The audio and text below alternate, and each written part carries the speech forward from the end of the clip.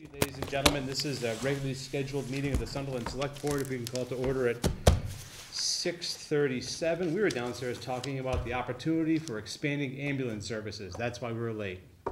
So, it's dry, like popcorn dry, but we're talking about it, and that's okay. Tonight, we're gonna hear from the library, and they're gonna come in with a budget presentation of a reduction, no, sorry. Good laugh right there. Uh, we're gonna have some select board updates. We got a snow and ice deficit spending expend, extension, and based on today, I don't expect it to be a hell of a lot when all's said and done. Request of, request of the highway superintendent, and rightfully so. We've got an appointment list for, uh, public wares and a one-day alcohol license policy update. The town administrator has been working furiously On for the alcohol? last, on alcohol, for the last couple of weeks, before he leaves tomorrow to go skiing for a week. So don't call him, he's gone until next Tuesday. You can call. If, you can call, it'll be all right. Uh, any comments to start from the board? We'll leave updates for later, but comments in general? Um, one, one, Mr. Chair, um, the other, couple weeks ago, um, a member of our community passed away, and, and Frank Bailey, and I'd just like to offer my condolences to, uh, to his wife Jackie and his son Ryan and Chris.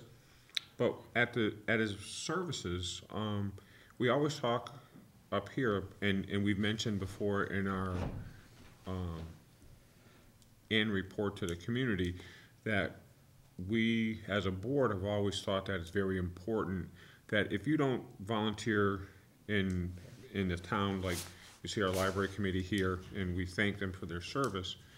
um, But Frank volunteered, and you've probably seen his car, the lime green box that he drove around for DAV. But at the, at the service, um, they acknowledged Frank's um, volunteer time. And I kind of thought it was um, amazing his dedication that even when he wasn't feeling well, he was still doing that. But Frank had donated 3,750 hours to uh, DAV driving, driving the van and, and serving in the, with the disabled American vets.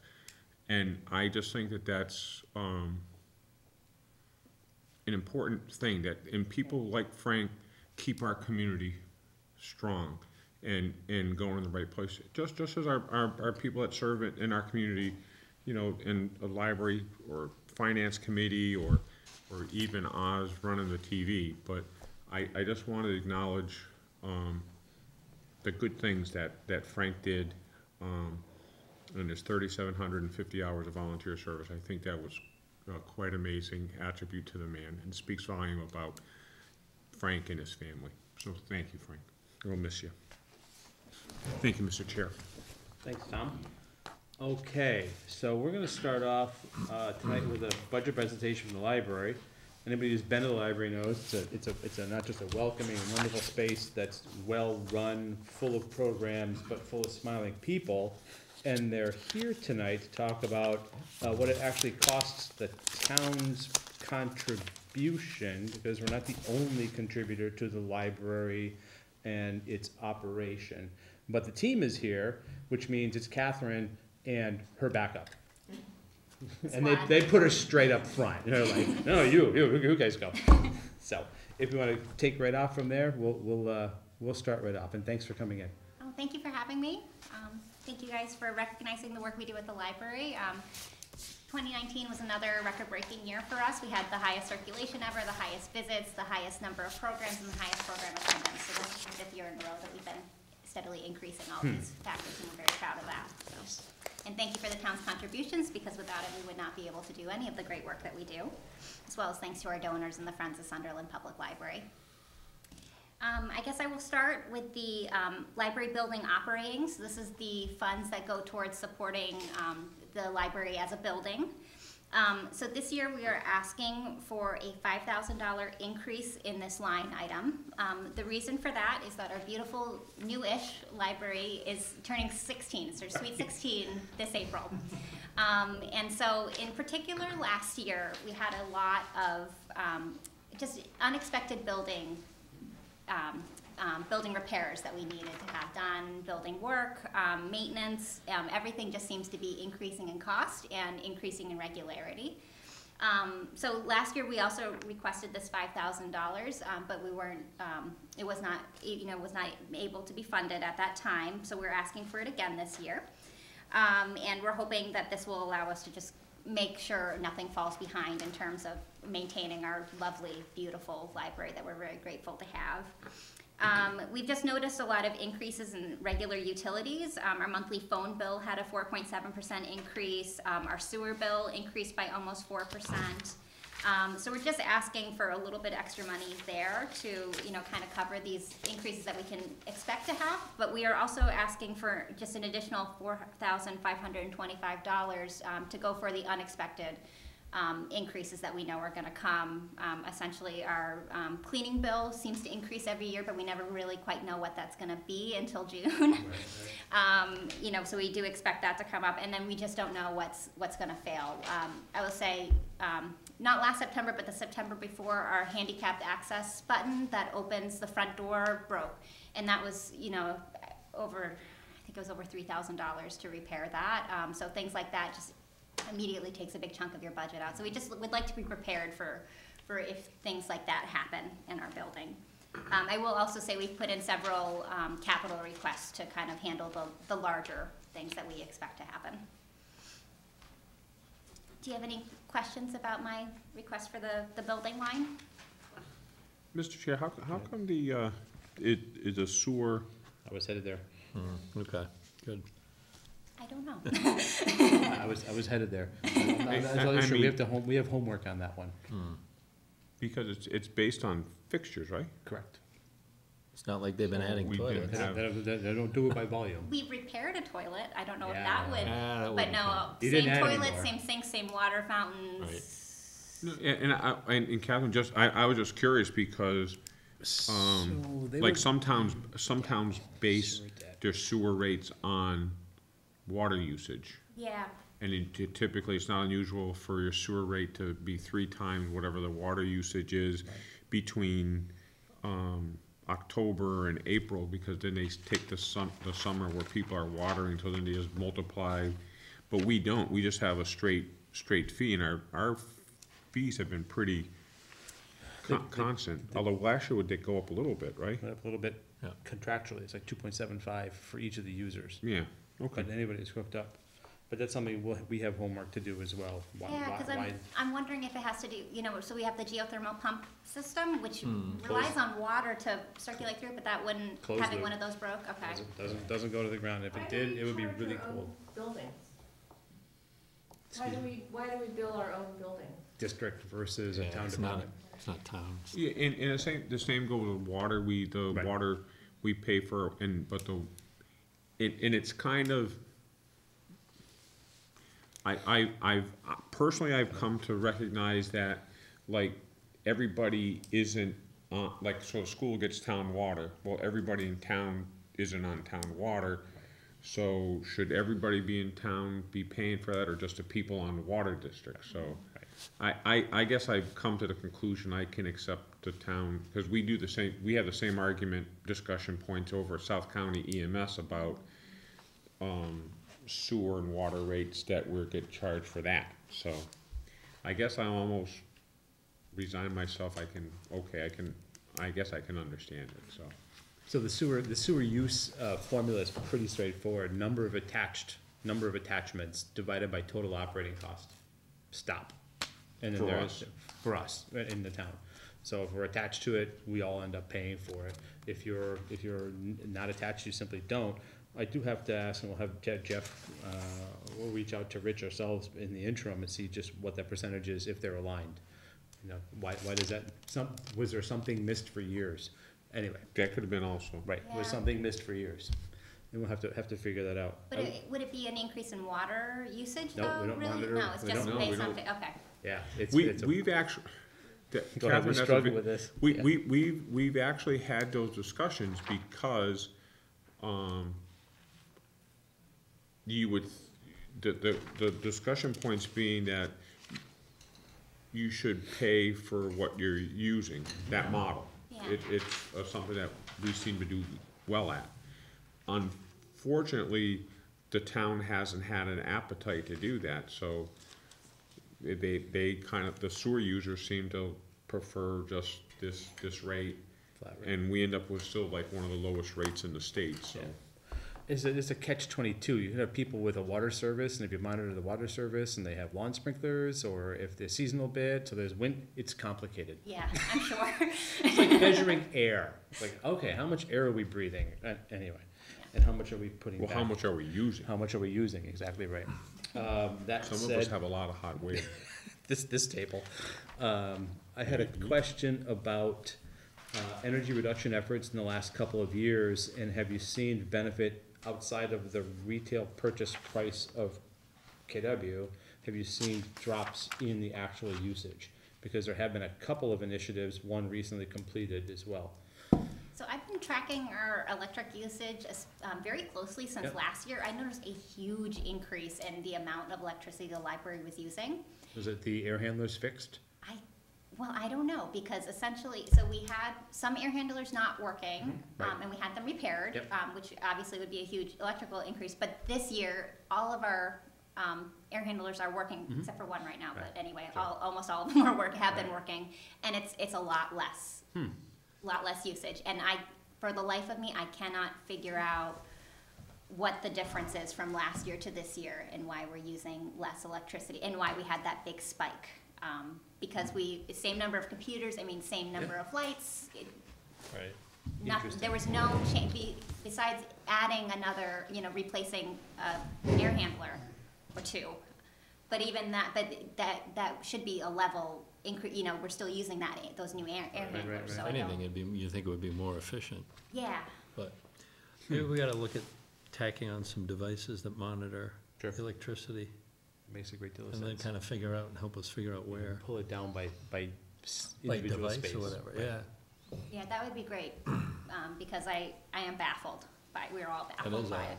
No extension of hours, No, more humans, maybe, but not, I mean, not. not significantly. I mean, more, Yeah. more humans, you know, you're at hundred BTUs per person per hour. But it, but even, but it's less this year, you know, so like, and we, we had the mo, you know, the most number of visitors. I Yep. mean, not a huge increase, Huh. you know, so it's, Something was somebody- afoot, Or somebody change the thermostat. right? I, I Yeah. monitor that. Oh, well, I- On her I- phone Yeah. now, No, on I her know, phone. yeah. What are you doing tonight, Catherine? Monitoring the temperature of the Oh, I get emails every. I was gonna say, you get the notifications probably, right? Getting Yeah, emails I from the do. building. Yeah. No, I, you know, so it's just, yeah, and I'd love to do like an energy audit. Mm-hmm. Um, I know our windows are leaky. Um, we had the building power wash and the amount of water that came in through our windows was a little You knew right away, alarming. sure. Yeah, I know exactly which windows are leaking and how much now. Yeah. Um, so I, I feel like there's a lot more the library, that could happen at the library to make us more energy efficient, because we are a huge energy user in town. Jeff, if I could ask you to reach out to, uh, Eversource when you come, when, when- at your first convenience to see, hey, how do we do a, how do we do a building-wide monitoring? And specifically, uh, remind them it's an all, effectively an all-electric building. That would be helpful, because you could pull it down to one goofy thing. Right. Well, yeah, you- just like a toilet running, you don't think about a, what, what affect a toilet Yeah. running until you watch the meter spinning. Right. And then you go, oh my god, Right. yeah. And, and it's like, I mean, 'cause we, I've seen buildings close down at the Newton campus Mhm. that no one's been in, and all of a sudden, Hundred thousand gallons of water over a month. right, Right. oh, going through a toilet. Right, right. So, Makes perfect sense. I did, did have one question on the, the phone bill. Are you guys on the same system that we're on here? it. Yeah, next? voice over IP, yeah, so that, that was the big increase for last year, but then even so, from, in this fiscal year, I wasn't quite expecting that, we did have a, an increase in that, um, as well. And It's That the we're same just kind of absorbing. software too? Yep, same software, same phones, I think, That's it's same interesting. company. Have we Because seen that's- one?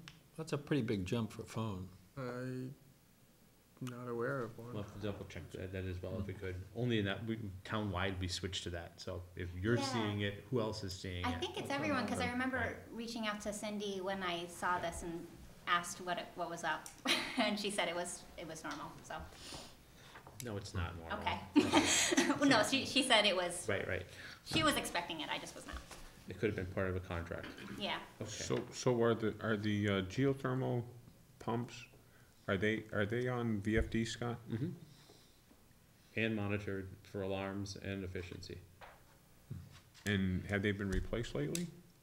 The drives? Yeah. The platform has, the drives were replaced as part of the platform, but the pumps are in in good working stead, and they alternate now on a, on a, on a recurring basis. Do they capture They that? do not. What? That, they were After not all able, that they, arguing? no, they were not able to program it to do that, and I, Hmm. it's not, it's not worth the hassle of having them to come back. So th- theoretically, there's a way I can manually Yeah. change it myself if I wait until the exact moment when they've run for the exact same amount of time, and I, there's no way for me to track that. Really? Yeah, and it, just honestly, it's not worth the energy for me to, to Right. look into that, because we, we did try, and I, you know, set up on the schedule and was ready to go, and asked them for help when it wasn't working right, and then that was the re- response that I got. Can we talk tomorrow, Catherine? Yeah, I'd love to, thank you. Because I would like to, it would be nice to have them alternating, at least at this point, you know, we had the one pump running for Yep. who knows how many years just running. Now we're on the other pump, so it is kind of evening it out, um, but it would be nice if we could alternate between the two as we like.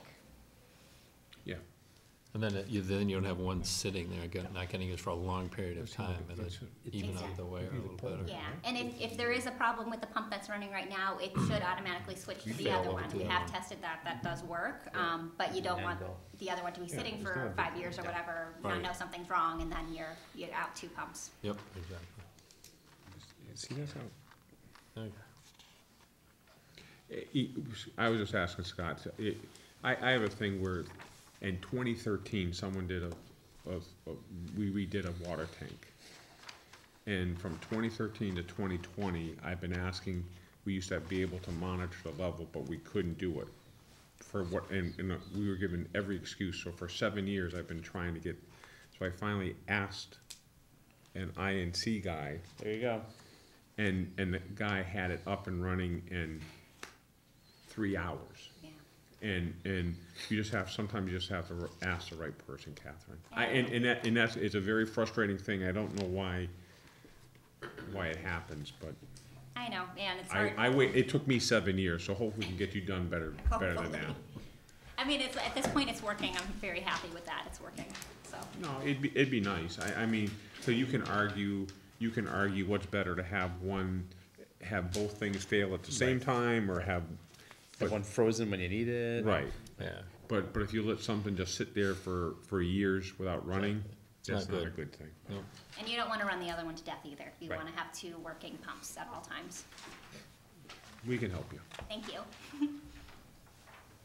Were there any other questions about the, the bu- library building? Did the building get its envelope work done for the green communities piece, or is that pending? Um, you mean the, the light, the LED lights? Not the lights, though, there was some building envelope work that was supposed to happen as well, or am I complete? They're looking on the capital request last year. Got it, okay. Oh, the main, yeah, the repair, yes, um, that is con- gonna continue in the spring, there's just a few more, um, projects that they wanted to work on that they weren't able to get to this Great, summer, but okay. it is in the works. And we don't, we did not put in another capital request to continue Cool. that, it should be done in the spring. And the pointing all worked out well, all that, great, thank you, Yeah, looking much better, thanks so much. thank you. Okay, so how much does it cost us to pay people? Okay, um, do you wanna do the, um, the library expense first, or the salaries? Now we can go for the expense. Okay. Um, so this year we're asking for a four thousand dollar increase in the library expense. Um, and so the reason for this is, um, that our, um, every year, we, um, you know, the cost of materials increases significantly.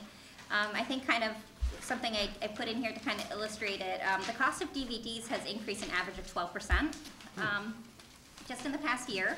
Um, increase of books is an average of one point four percent, not, a- not quite as drastic, but, um, these do seem to increase, and for the most part, we've been pretty, um, pretty well level funded. I think there was a, one year you guys gave us an extra fifteen hundred dollars, um, which we appreciate. Um, but at this point, the, the cost of materials continues to go up, but we're, um, at the, you know, essentially level funded. Right. Um, and so, and when that happens, um, our, we still have to meet state purchasing requirements, which increase every year. Um, and so when that happens, when we receive a certain amount by the, you know, from the town, which is not enough for us to meet those state purchasing requirements, we then have to go to our donors and request it. Um, this year, we're asking for twelve thousand dollars from our donors in order to meet state purchasing requirements that make us a certified library and enable us to, to be a library, um, which is a, a very large amount. So essentially, the, um, the burden on the town has remained level. We're getting less materials, um, and then we're asking, the burden on our private donors goes up markedly. Um, so we're just asking for a little bit of extra funds to help us level that out. It'll help us, um, be part of CW Mars. Our membership to CW Mars is over one-third of the, the budget that we receive from the town of Sunderland at this point. Um, and so, you know, that's July second, a third of our, our, bud our materials purchasing budget is gone. And that, um, CW Mars, we wanna be part of that. That's really our, you know, the best part of our library, I think, is that cooperative. You know, it enables our patrons access to millions of items that we, you know, otherwise we would not have. Um, but, um, essentially, we, we just would, would like to lessen the burden on our donors and hopefully ask the town to allow us to provide the same amount of materials. It just costs more now, So this is a shift away from the donors toward a recurring revenue stream. yes. Uh, I'd actually explain it differently and say Okay. that we are, will ask, we put a uh, goal every year on the um, annual book fund. Yep. And that goal tends to go up every year, but we don't want, we're concerned that the increase in that line item can't all come out of donations. So it's not like we're gonna ask for, le- we're not gonna, we're not lowering our fundraising goal. We're Got it. concerned that we're being pushed to raise it too high. Got it. That makes sense. We're also seeing, um, we would like to begin purchasing more digital items, even though we circulate plenty of books, there's no concern of- towards that. Um, being part of CW Mars opens up, um, allows us to have ebooks and e-audiobooks and digital magazines and wonderful services elsewhere, but, um, there's very long wait times for popular items, so I have been purchasing extra copies of ebooks. Um, for instance, I waited eight months to listen to Where the Crawdads Sang. Um, I was on hold for three months for our community read book. I just got it in time. It starts in March. so I got to listen to it really quick. Um, So- you know, so I'm so I am purchasing additional items. We also added um, Kanopy streaming service, which is a wonderful allows our patrons um, streaming access to um, documentaries, videos, language learning, all sorts of kids stuff. Um, really great service. Um, so we've been paying for that out of state aid, and it has been used pretty widely. We're really happy with that. Um, so it just definitely. Um, we're seeing an increased demand for digital items, which previously we did not purchase at all, and so now we're, we're adding on those those costs. Are we purchasing licenses or are we purchasing digital content or? It's, um, it's difficult to explain how it works, and it's different for every single item and every publisher. I'm publisher. not going and checking out a Yeah, tablet. because it depends on the publishing agreement. Yeah, yeah, it's, I mean, so That's it, very- that even very if we're complex. ordering from one company, it's different for each item. But I, if you wanna, Kanopy is essentially pay per use, so for Yep. every video that our patrons, um, borrow, um, watch, we, we pay three dollars per video. Um, and we have, we have caps on it, there's limits for how many people can borrow, so it, you know, we are able to control it in that way. Um, an ebook is probably about sixty-five dollars would be the average, and that is based on limited use too. So it's like you can use it maybe ten times or something, and then you've gotta buy another one. And that depends on the publisher, and there's, we have very little say in that, but we've been advocating very strongly for them to be more friendly towards libraries. Right. How has the DVD use gone over the years compared to like streaming? Is, is, I'm just curious, is the DVD use dropping and streaming going up It was interesting, so That's DVD amazing. use for us was, has been like pretty steady, most libraries Yep. has been dropping, um, although I have to say, Hmm. very sadly, one of our patrons who was our, a huge DVD borrower, I mean, he'd borrow stacks, like multiple times a week, he'd come in for a stack of DVDs, he passed away recently, so I'm gonna, our DVD circulation is definitely gonna drop this year. Um, we miss you, Miguel, he was wonderful to us, um, but yeah, it's definitely, I'm, I am noticing a decrease in, um, in DVD circulation, and streaming is going up. That's Um, what- So yeah, that I- is the trend. I Um, suspect if you had demographic info, you'd probably see probably older usage on the DVDs. and Definitely, yeah. and it also depends on the, the towns too. A lot of, um, we find a lot of our patrons who come to us from Conway and other places where, um, internet service is not as fast or as accessible as it should be, are borrowing a lot more DVDs, whereas people who live in towns like Sunderland that are fortunate to have good internet service and that kind of access. Got sick of buffering on that. Yeah, exactly, or like you'll, you'll notice students too, I mean, it's definitely an, an economic, um, Yeah. issue as well. Um, Yep. people who cannot afford cable or internet, um, definitely borrow DVDs from us a lot more. Does the CW Mars license prevent you from having a two-tiered cost structure with regard to in-town and out-of-town? I know you don't charge, but can you?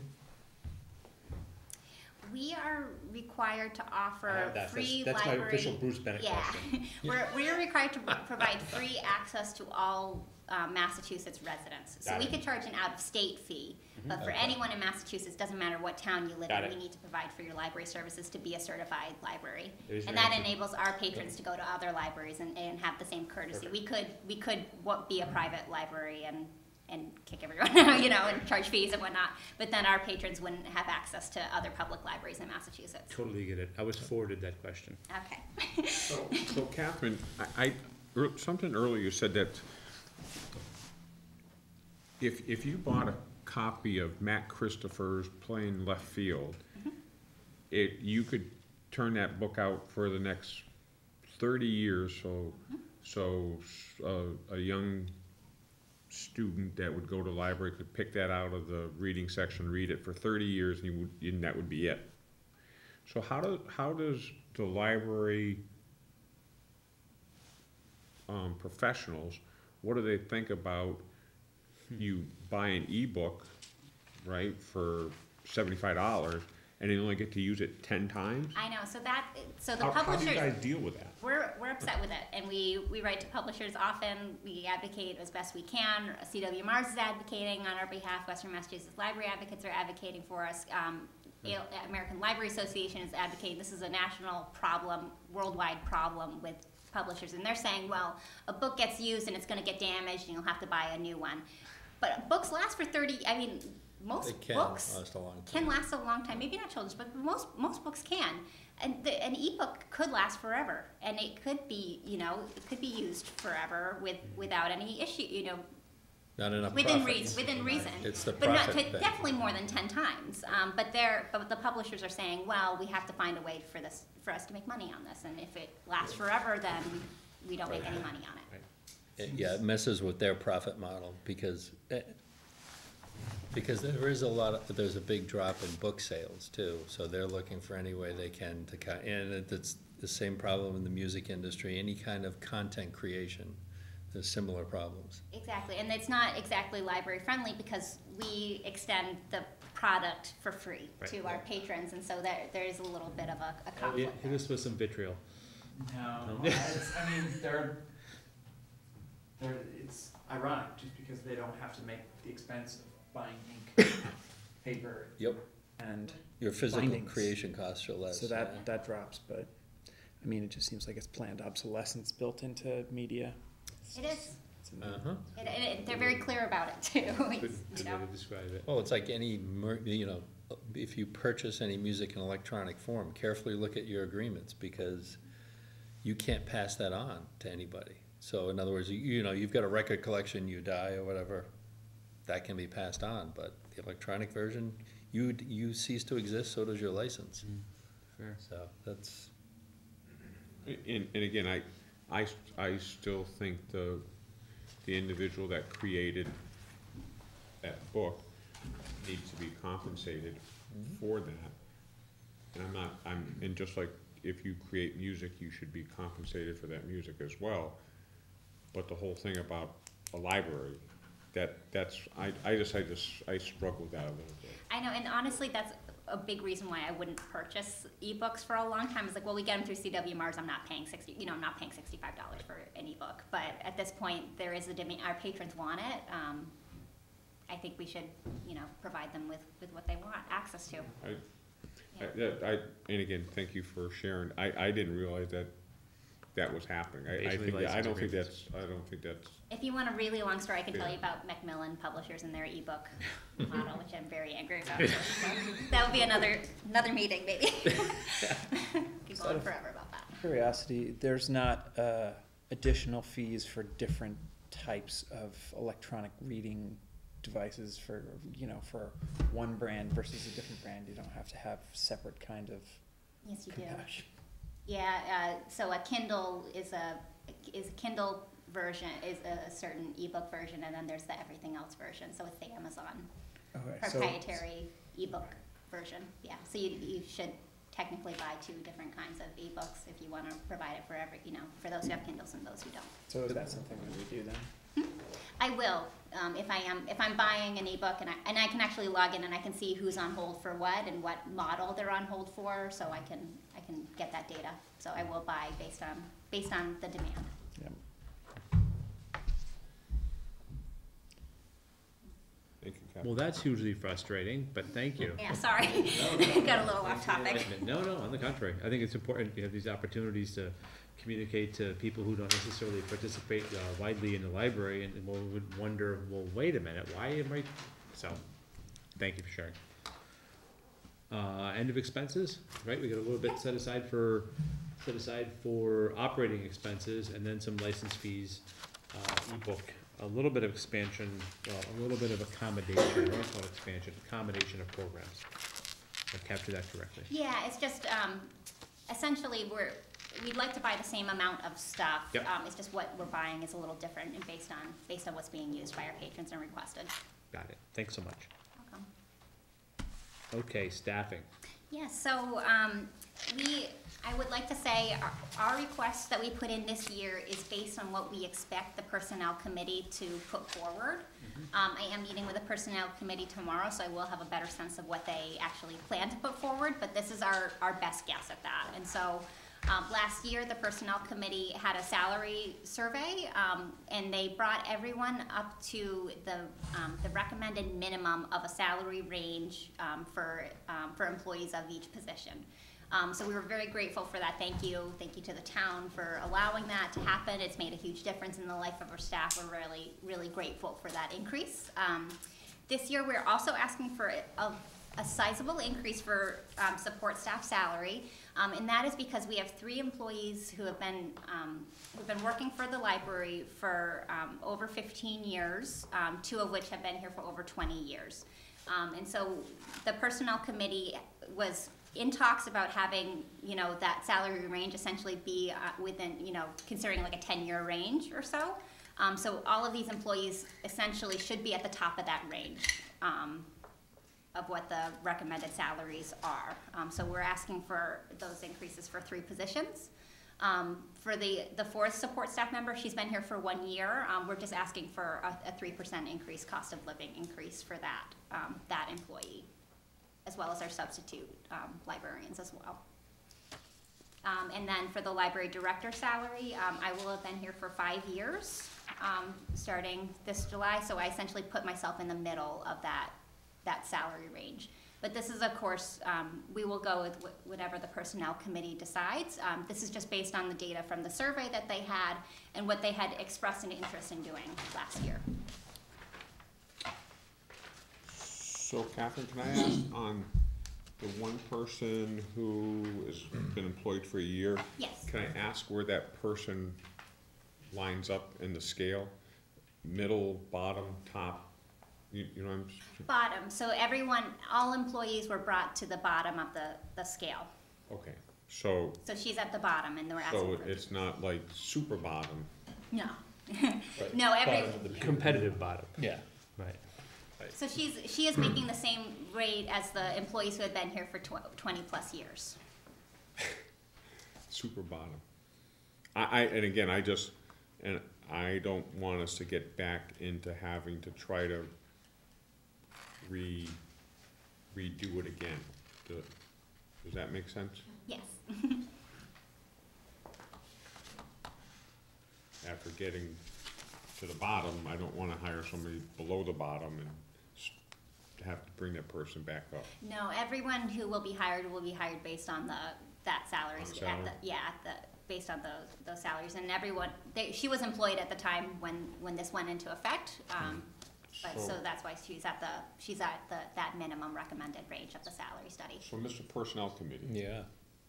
how, how do you ensure the salary schedule that Catherine's looking at stays current? Well, the only way to do that is you're gonna have to periodically go back out and keep polling your peer groups, because you've gotta be able, to you can't, you can't do it and then just walk away from it. You know what I mean? Guess have that's to- my point, yeah. That's, So- we have to, we have to, you know, set a have you time talked and say. about that? Oh, yeah. Okay. You know, you know, whether it's like, say, every three years, whatever, you know, X number of year period, you gotta go back and repoll, which is why it'd be fabulous if everybody would contribute to the FRCOG's database of all this information, because it is a, Do you think you get good data from the FRCOG database? It would be It- nice Do you think it's consistent data? Cause actually, somebody at the last FRCOG meeting Hmm. had talked about that. It's not. And it's, and, and it's, it's a painful, it's far more painful than it ought to be, to be able to get this information. I'll say after having gone through this. Is there one, are you, you contracted, is your position contracted, Yes, or I have it? a one-year contract Okay, with the Board of. Library Trustees. That's what I thought, okay. So using the Contract? survey that's here, Hmm. contract employee. Go I, ahead. I was- I was just wondering, so, so one oh eight, Um, Mass General Law, They- section one oh, chapter one oh eight, they or nego- section one oh eight? They negotiate, yes. Um, so, and the library director is You the must only have some contracted pretty position in the library. You have some pretty strong people that are, to get you, uh, be In able to, that. be able to work a contract for Trustees, right. trustees, yeah. They must be, on the whole statewide, trustees must be pretty powerful to put that kind of pressure on the legislators, allow you to negotiate a contract.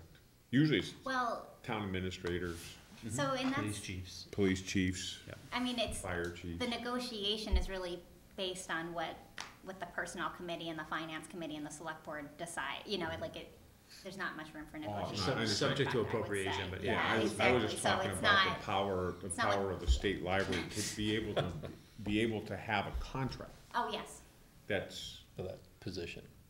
for that, for a position is difficult, cause like, the town clerk can't have a contract. I have a question regarding, and it's a comparison between the survey, which the town clerk made sure to present with us, uh, and your ask. So I'm looking at one of the positions that's listed at currently twenty-two dollars an hour, uh, proposed is twenty-seven dollars an hour, uh, twenty-five percent increase, and yet the survey has median max at twenty-five forty. So what's the ask?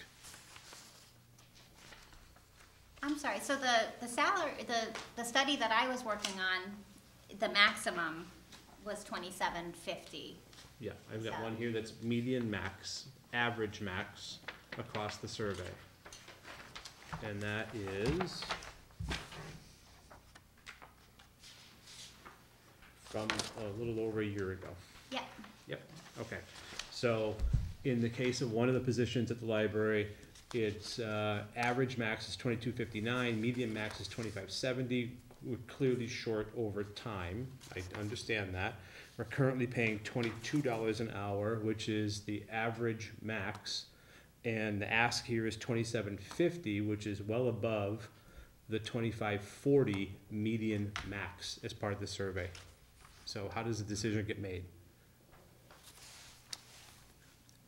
I'm sorry, I'm a, little- I'm a little confused because I don't have the, That's the okay. survey in front of me. I, I'm sorry, I thought it was, Yeah, I'm just curious There where, was a scale. how, well, I'm curious where the numbers, where the numbers came up. yeah, I mean, so they- they've been, it it was the top, that was the top of the scale from at least my understanding of it. Okay, so I got uh, two sets of columns, like I said, average max, median max. I'll use, again, a, a position that's here, top of, uh, your submission for long-term staff, and the medium max is, uh, twenty-five forty. So I never. Right here.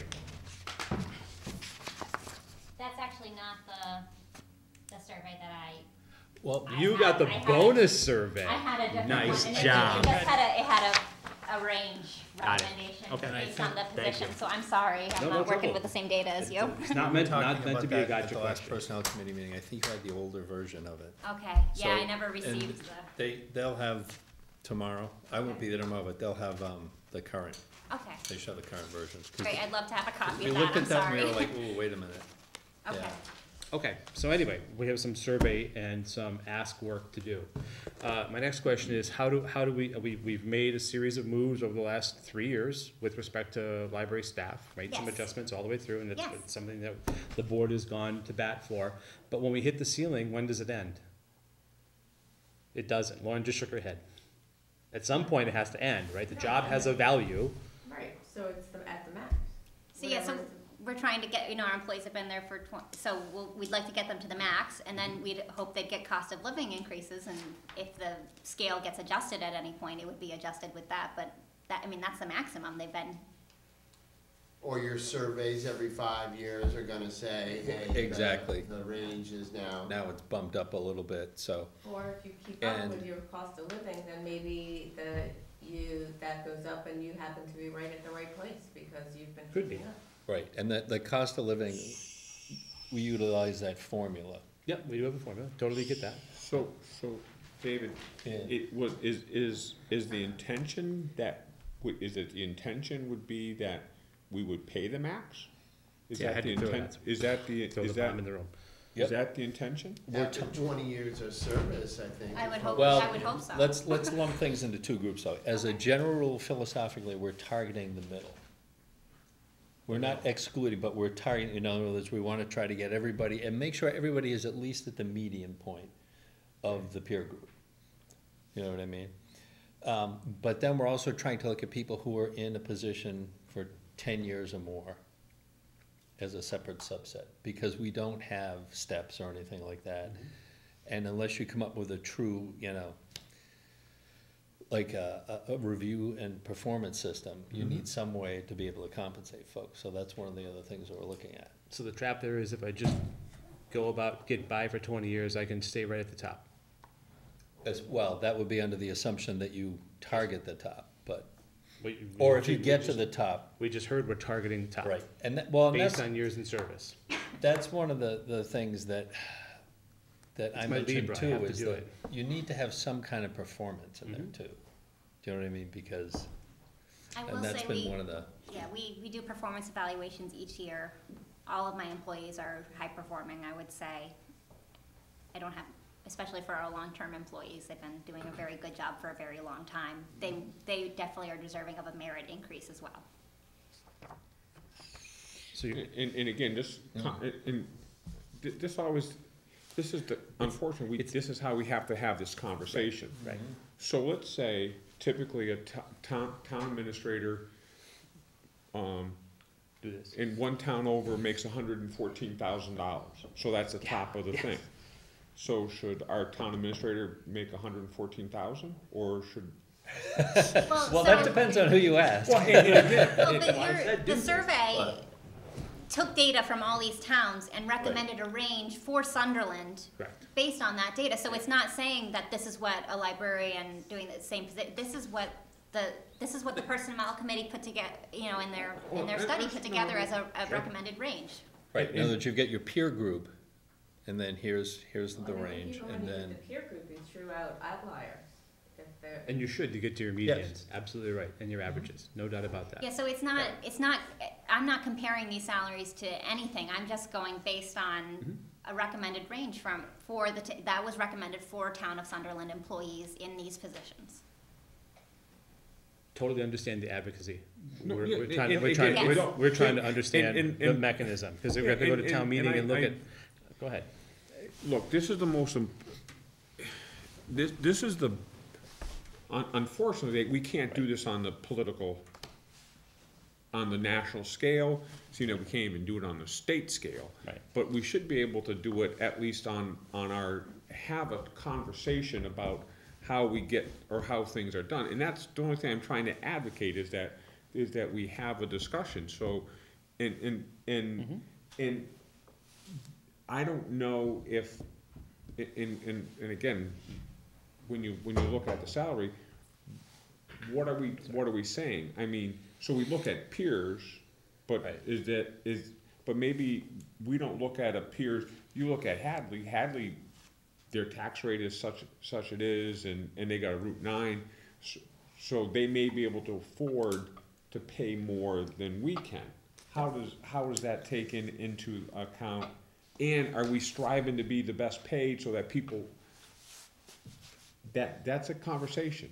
Yep. And, and we went through that whole struggle when we tried to pick the peers, because Yeah. we, so we've already kind of gone through that part of it. Winnowing, yeah. Because you try, right, you know what I mean, because there were some towns in there that were, there was one town in there, I forget the, I don't know if it was, well, it, it doesn't matter the town, but it was very similar demographically in all aspects except for its physical location, and it was out, and that one ended up getting tossed out Was it because. Sheffield? It might have Barnstable? been Sheffield, yeah.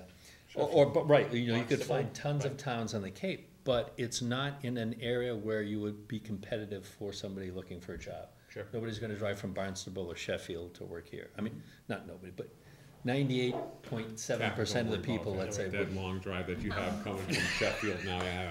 Yeah, you know what I mean, so, so you have to be reasonable and you have to look at a lot of different factors. And then also one of them being, you know, what's your competitive job market geographical area? And that has to be one of them. So then you, so then you've got your, your peer group, and then you have to periodically review that because you, you can't just do it and walk away. And the idea was, was we first get everybody up to the minimum, and then we try to shoot to get to the median of it. But we also have to look at people who have been in, and this is kind of like a group we're separating out, like those who have been in their positions for ten years or more. So, and it's a tough balancing act, trying to, Oh, I trying to figure all is. that out. I don't, I And- don't and think it- it's, that's why, And I- even among the personnel committee, there has been a number of heated discussions. Sure. I can guarantee you that about it, so, um, Circling back from the methodology, uh, to the library, head of youth services, head of adult services, are the responsibilities the same? Essentially, there, there is a, a little bit of difference. Um, head of youth services works more hours than head of adult services, so they have some, based on just when they're at the library, like, she does our interlibrary loan. That's not a normal youth Sure. services. So by job description, the tasks are the same, because you're proposing the pay grade to be the same. Um, and that was based on, I get the survey part, I yeah, that's based on the, that's based on the survey, one hundred percent. I'm like, Internal, internal discussions, I mean, is it really the same job? I have electricians who think do it is. different things, and they don't get paid the same. I think it is, I mean, it's different age groups essentially, and whereas, um, head of youth services is picking up our interlibrary loan, our head of adult services does all of the cataloging for Added us. Responsibilities. Yeah, so, um, I have to ask. There's definitely, there are definitely differences. I have the job descriptions, I'd be happy to provide them to you. Personnel committee should already have them, but, um, Again, I have to ask. Uh, yeah. I, you know, and if, if the personnel committee wants to do, you know, based on each job individually rather than just department heads in the library, Right. then that's a, I'm happy to have that discussion too. But I'm really trying to be a team player and go with what the town has decided they, they wanna do for our employees. Cool, thanks so much. Questions? no, I, thi- I think it's a, a discussion we have to have, you know? Finance committee, what do you think? Well, the, it certainly is easily confusable if you only get the small subset Right. Yeah, I'm uh, sorry, I didn't, that list, but it's also admirable that you're incre- uh, asking for the max increases for most of your employees, but, uh, Well, so this is, I mean, you brought everyone to the minimum last year, and then the goal was to consider longevity, you know, the personnel committees thought, with, were intending at that time to go for longevity. They've been here for twenty years, I mean, we either do a big jump now, or we do an even bigger jump later, I mean, it's just, we've gotta have some kind of structure, and if, if the personnel committee decides they wanna do like a extra percentage on top of the cost of living for every year or something, that's great, I'm happy to go with that, but they've been here for twenty years. If we had had this plan in place when they started, they would be at the max. Fair point. I feel like they should be there now. Great, thanks. Let's talk about your salary, Yes. because you're the last one. Oh, this will be the easy. This is the easy one, right? I just put myself in the middle of that range, but if that range is off, then I apologize. That's fine. Um, No. but I put myself, because I will have been here for five years. And we evaluate that on every year. Right. And it is a, it's a one-year contract, so the board of trustees evaluate me each year, and then we, they decide if they wanna renew the contract. weird ones with the eight, average, some of the weird ones with average.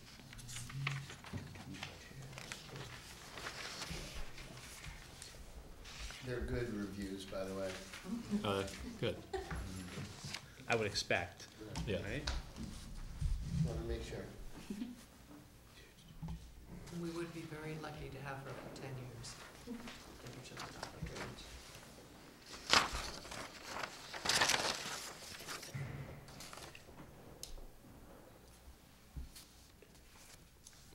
Okay, questions regarding salary? Director salary? I don't know. I, I fe- I fear we'd tread down the same path regardless, so it's salaries. Um, So what cool, awesome things is the library gonna do this year?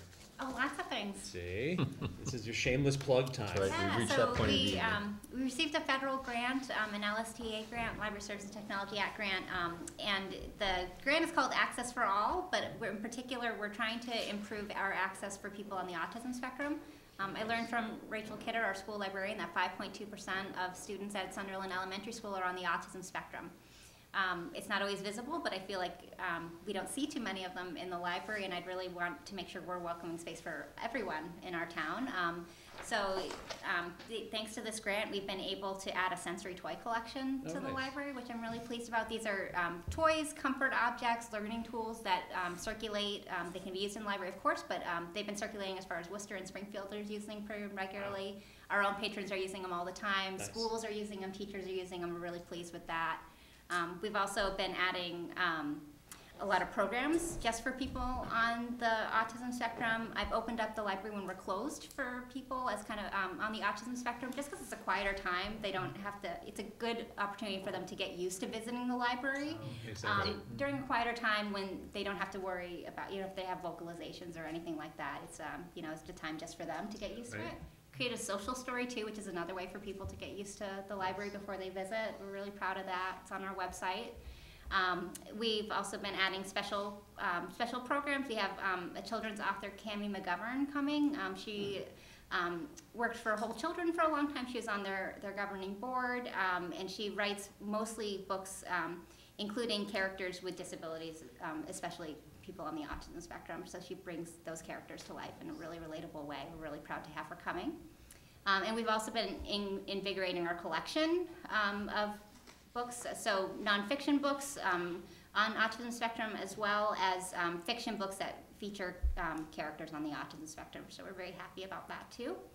Um, but the most important part piece of this is that we've been getting a lot of staff training too for our staff and how to how to serve these patrons. But really, it's improving our service to all of our patrons. So we're really pleased with that. Did that come out of demand or come out of um, understanding that the opportunity was out there? The opportunity was out there. I, I realize there's a large portion of children in particular in Sunderland on the autism spectrum. It's on the rise nationally, whether that's because of increased awareness or an actual increase in the, um, you know, in the spectrum. That's a, you know, another debate, but I, there's definitely a need for it. Um, and it's, we've seen a lot more people coming into the library now. We're really happy about it. Um, I just think it makes us a more welcoming space for everyone, and that's always our goal, so. Makes sense. And work with the elementary school, you cited them as a statistic. Is there a mechanism for interacting with Ben or the school committee about them? Absolutely. So I meet pretty regularly with Rachel Kidder, the school librarian. Right. We're really happy about that. Um, I'm presenting at a, um, a staff meeting coming up in a couple weeks, um, just to kind of let them know about the library um, and to talk about this grant, but really to talk about other services because we can get foreign language books. Um, you know, if, if you have a ESL student, um, there's all sorts of things the library can do for our teachers that they may not be aware of. So we're really excited by that opportunity. I also created um, kind of brochures um, advertising number one our services to people on the autism spectrum, but also the sensory toys and also all the various collections too. So those were all um, get Nice. distributed to the teachers, so they Great. should each be aware. I hope. Good stuff. Thanks so much for that. You're welcome. Want to talk briefly about capital? Unless you guys have questions about programs. we- we-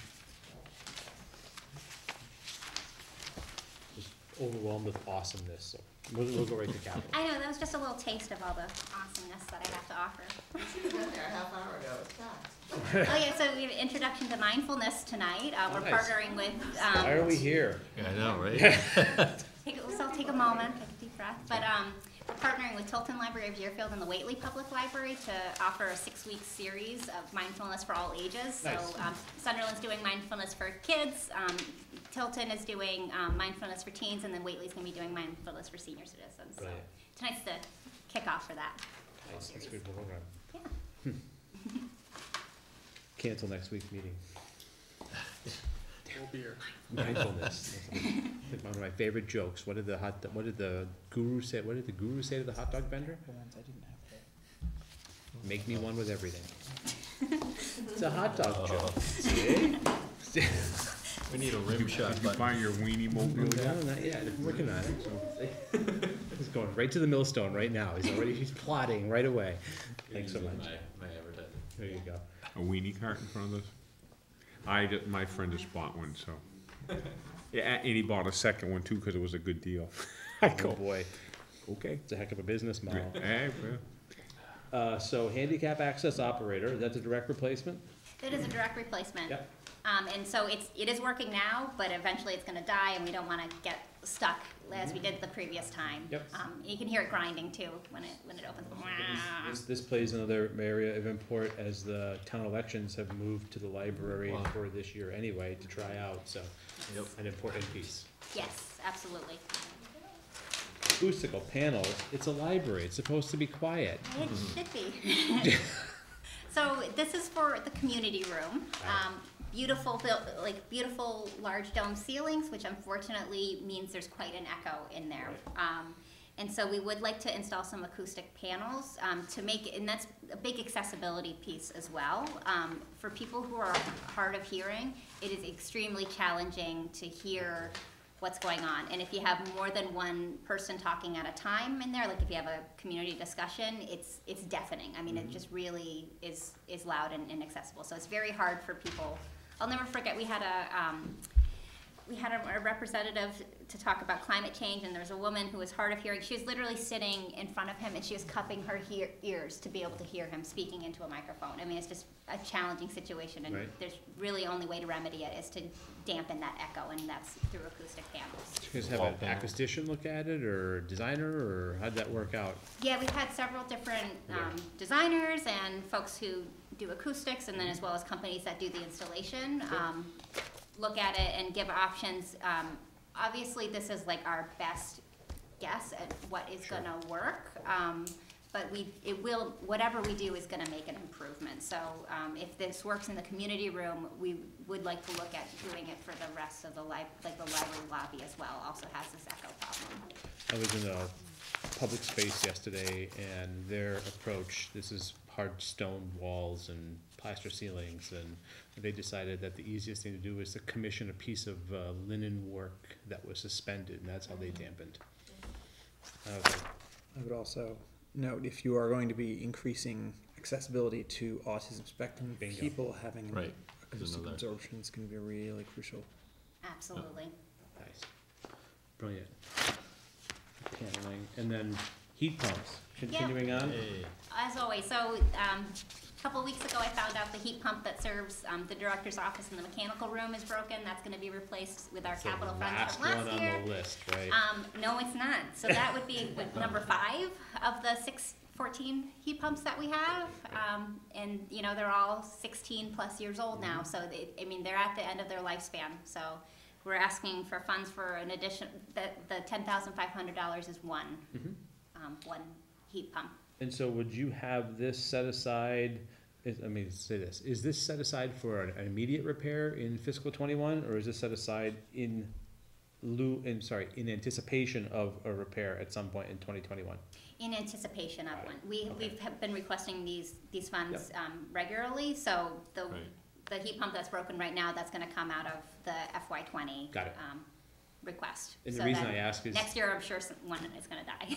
the reason I ask is for people to understand, the money from capital appropriation sits in capital until it's needed. It's not like you, you, your trustees are gonna run off and buy ebooks. It's not gonna happen. It sits over in capital, and if the heat pump dies, they simply transfer the money. And we're very grateful for that, because you never know when one's gonna die, but when it goes, you So- need to replace it immediately. It's a clean mechanism, and I use the example of transferring it from capital to expense, because historically, not the library, but other, other municipalities and municipal agencies have used that mechanism, and that's something that we've girded against for, guarded against for the last fifteen years. So, capital is capital. So, so the heat pump, can it be taken out, rebuilt, and put for a spare, or is it, you take it out and toss it? You toss it. What's happened is the air handling units, they refer to the heat pumps, the, the air handling units above the ceiling, and there's not a direct, direct replacement uh, currently. They've been being rebuilt, either compressor stations or controls work. They've actually, actually taken physically one out, or they're rebuilding them all in place, I guess is a question. I know last year that price jumped because the series didn't exist anymore.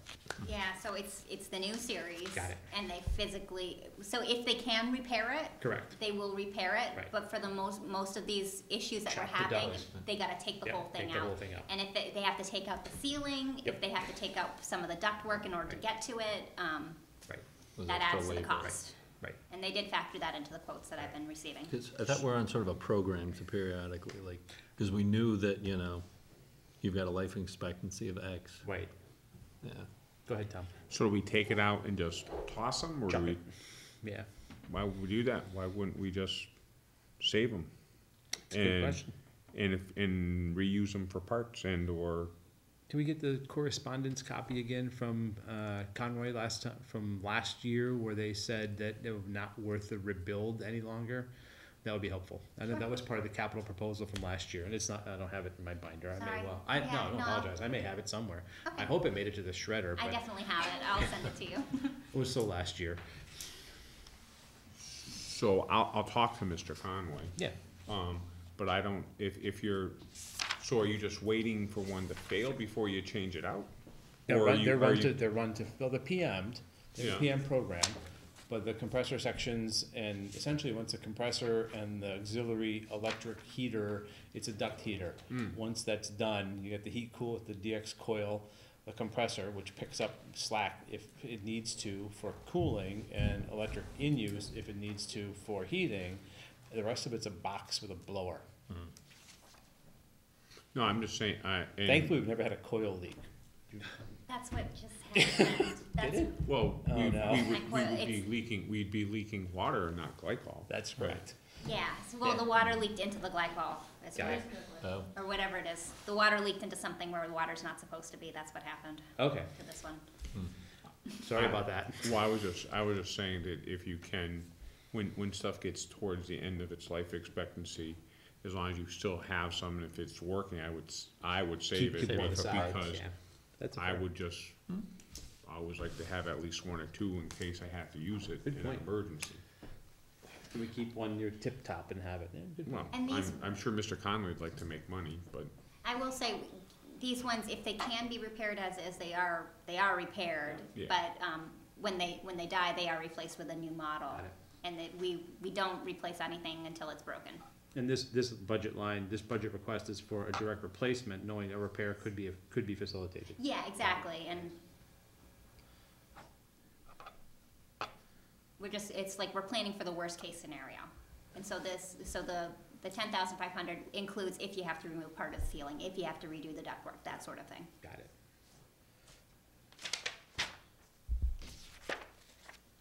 And that was it for, for capital for the library. That was it. Easy one. I like the, I like the, uh, so when do we decide to replace it? To a new system? Yeah. Or, well, the question Well, is, I'm, I'm saying, I mean, when you get to like sixty percent I of the was gonna cost say, of rebuild, do right, you repair, or do you keep repairing no matter what, or, I mean, a blower's a blower, compressor's a compressor, right? yeah. So if, like, Good if you get, question. if I'm, I'm looking at, it, I'm saying it's fifteen years old, and life expectancy, or sixteen years old, life expectancy's fifteen, and I got, Fourteen of them, what, well, and, a variety of stages of life, but, or rebuild. right, Yeah, it's a good question. Maybe it's a million dollar capital project in a few years. just wondering, hmm. No, no, I'm- I'm not, I'm not I know, saying anything except maybe it's a million dollar project in a, in a few years. And it's an efficiency project. look, maintenance, maintenance is a necessary evil. Yep. I don't wanna be rebuilding library, town hall, elementary school, public safety complex all at the same time. Absolutely You gotta right. maintain, you gotta maintain. Absolutely right. Now, it may well be worth, may well be worth that survey again. I, I think it's important to maintain stuff, so. Your debt goes away in twenty twenty-one, we could just borrow another million and fix the whole thing, although your building's great, so. It's, yeah, I, I would say it would, it wouldn't cost a million for, to do everything we could ever possibly wanna do in that library would not be, it's in great shape and it suits, suits our needs You're well. way too practical. Oh, I'm Lawrence, sure I Lawrence I going, could. I'll take, I'll take the million. except for those windows, right? All right, half a million. Half a million, Well, for the, maybe if we do acoustics in every single inch of the place, There you go. You're working out very well. add it up, but. outside of the shameless program plugging, any questions of us? Besides our, you know, unyielding support for the library over the years, and thank you for that. No, no problem. I'm just curious what the if They're there's, all if there is a now. timeline for the, um, for the budget, I know ob- obviously everything changes last minute and stuff like that, but do you guys have a timeline for when the budget will, your, your version of the So budget will be available? School is the next, so our revenue piece, we have to wait for the House Fund to come out and understand where that revenue piece fits in. As you know, we take the revenue piece, uh, probably more seriously than the expense side, because you can control one. You can't necessarily control the other. Uh, that said, uh, those, those are usually out first part of March. We expect something relatively soon. Uh, we also have the elephant in the room, which is the education budget, and that hearing is in two weeks. Should talk No, wait, about next Peter, week. should talk about Peter that way. Peter's here. I know, the elephant in the room. He's only a third of the elephant in the room. The other two pieces of the elephant are up, you know, up in, uh, up in uh, Turner's and across the river. Uh, we're hearing those, we're hearing from, uh, two of those, uh, next week. And then Franklin Tech, we have their assessment, so I would say within three weeks. Great, thank you. At least gives us a framework, Yeah, just have, start our discussion. great. And keep up the fine work. Obviously, participation is going well. Uh, you have high, dem- you know, demands for the services, which means the services are nothing but uh, spectacular, and that's a good thing. Well, thank you. And please, um, be in touch with me if you guys have any questions, Great. need any extra information. I'll send you that document later. Thanks so much. So Appreciate thank that. you. Thanks. Finance Guys. committee, what do you think? Great, thank you very much. Appreciate it.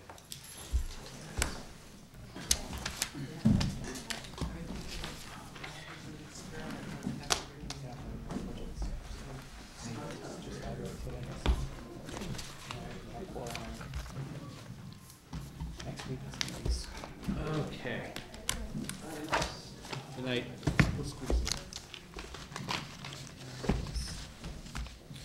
S- Next up, we've got minutes of uh, February tenth, and Motion. Second. motions made and seconded. On February tenth, the highway department was in, Yep. and Elementary. fire department was in.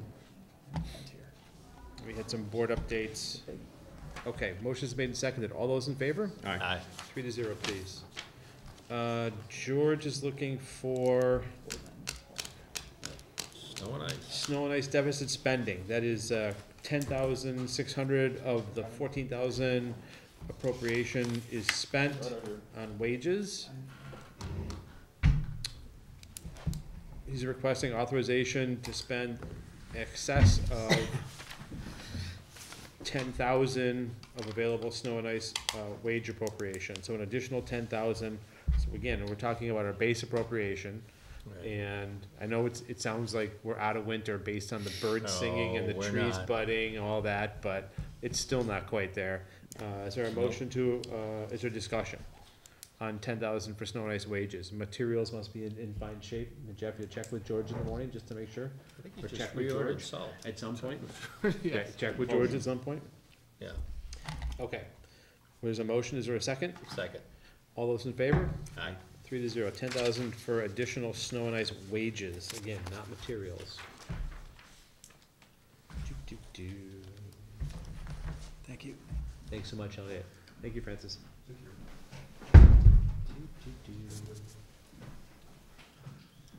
Okay, uh, how about, how about we do appointments, right? We got from Delta Sand, uh, Public Weighers for twenty twenty, TJ Conroy, Amanda Gothier, Melinda Gibbons, and Jane Kaczynski. All those, in- is there discussion? Motion. Second. Move to appoint for Public Weighers, all those in favor? Aye. Three to zero, please. Do, do, do. See some lovely red lines.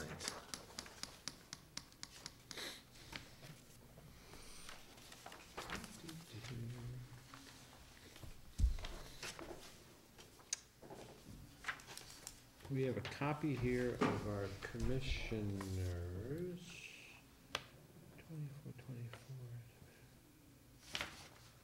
Yeah, so March 9th, there's a public hearing here. It's important to bear in mind about sewer, uh, rates, uh, for septage. Uh, they were brought forward to the board a number of years ago. And, I'm sorry, a number of weeks ago, we have had the same rate for a number of years. And because this impacts the public, we wanted to put this in the form of a public hearing. This is in this room. It is on the 9th of March at seven PM. And then we're gonna discuss, uh, the wastewater treatment plant septage rates. Uh, they're currently eight dollar, I'm sorry, eight cents a gallon up to twelve hundred, nine cents a gallon, excess of twelve hundred. They was established in two thousand and eight. We have a recommendation from the sewer operator to increase those rates. So it's not your house rate, it's people who, uh, use the septic, uh, sorry, the wastewater treatment plant for disposal of bulk septic. So, that's coming up, and that's in March, we have our notice right here, March nine, and that's at seven PM. So if you're a hauler or anyone of interest, restaurants, those kinds of places that are using tank trucks, it's important to bear in mind that our, our costs have gone up, so. That's the ninth. Uh, selectmen's updates. David, you say the personnel committee? Personnel committee meeting tomorrow night. Yep, Tomorrow night? Continuing our fun work. Well, it's, it's, it's not the easiest work, but it's good work. Gotta get it done. Right, It's exactly. important. right. Tom, anything you wanna add? Um, just like to add that, uh, early voting started today. Right. It'll continue, and this is for the Democratic and the Republican primaries. Correct. Um, it started today. Today, yeah. Um, the town clerk's available the remainder of this week, um, including she's got office hours, I believe, on Friday as well, so I would say that if you, uh, think that you cannot get to the polls on the election day, primary day, then come down and see the town clerk and they get a ballot for you. Uh, I would strongly, strongly encourage everyone that's available, that's registered to vote, to get out and vote. That'll be next Tuesday, March third, also known as Super Tuesday.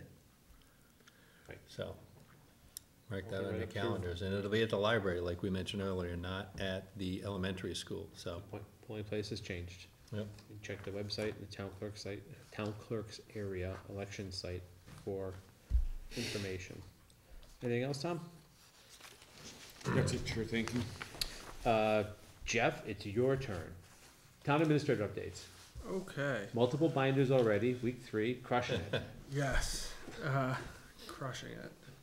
Um, on Friday, I met the FRCOG crew um, and was introduced to all the folks there. So Nice. got a good intro to all the services they provide for us and um, are included. So that was great. Uh, we were also notified that due to housing production over the last couple of years, we are eligible for a housing choice community um, status with the state, which um, would make us eligible for certain grants um, that only housing choice communities are. I'm investigating what other types of requirements would be on us other than yes, we would like to be eligible for grants and get extra points on MassWorks applications and things like that. Um, if there are reporting requirements, upkeep requirements, those types of things. So um, the folks at FRCOG are looking into that, but um, it, otherwise it seems like a pretty good Nice. deal.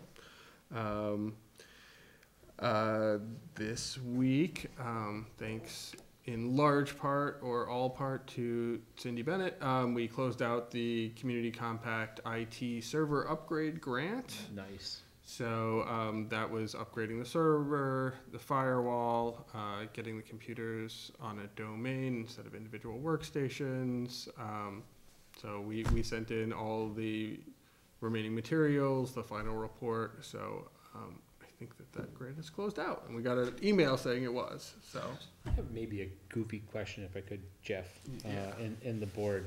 You know, we've, we've done, um, as a town, uh, have done relatively well with the community compacts initiatives, both sharing of resources as well as utilizing other resources from the state.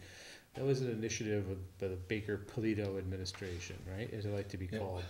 Would it make sense for us to send a letter saying, hey, here's the community compacts we participated in and the benefits that we have, we have reaped, uh, knowing that we've performed work? Yep.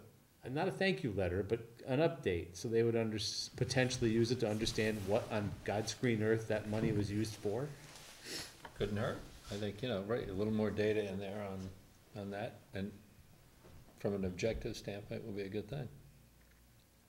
I don't know how closely they monitor any of that feedback. They, they do, because in particular, the the lieutenant governor, lieutenant governor's been out been here a her couple. bailiwick, that's right. She's been, she's been out here a couple times to announce awards, and, Yep. in particular, I believe she, part of her thing is to visit all three hundred and fifty-one Mm-hmm. communities in the state, in particular, the ones that have applied for and received community compact, so I, I think that, I, think it's important that, and I would not, but I would not only address it to the governor and lieutenant governor, but I would, I would, uh, address it to our uh, elected state reps also, Sure. state Yep. senator and state.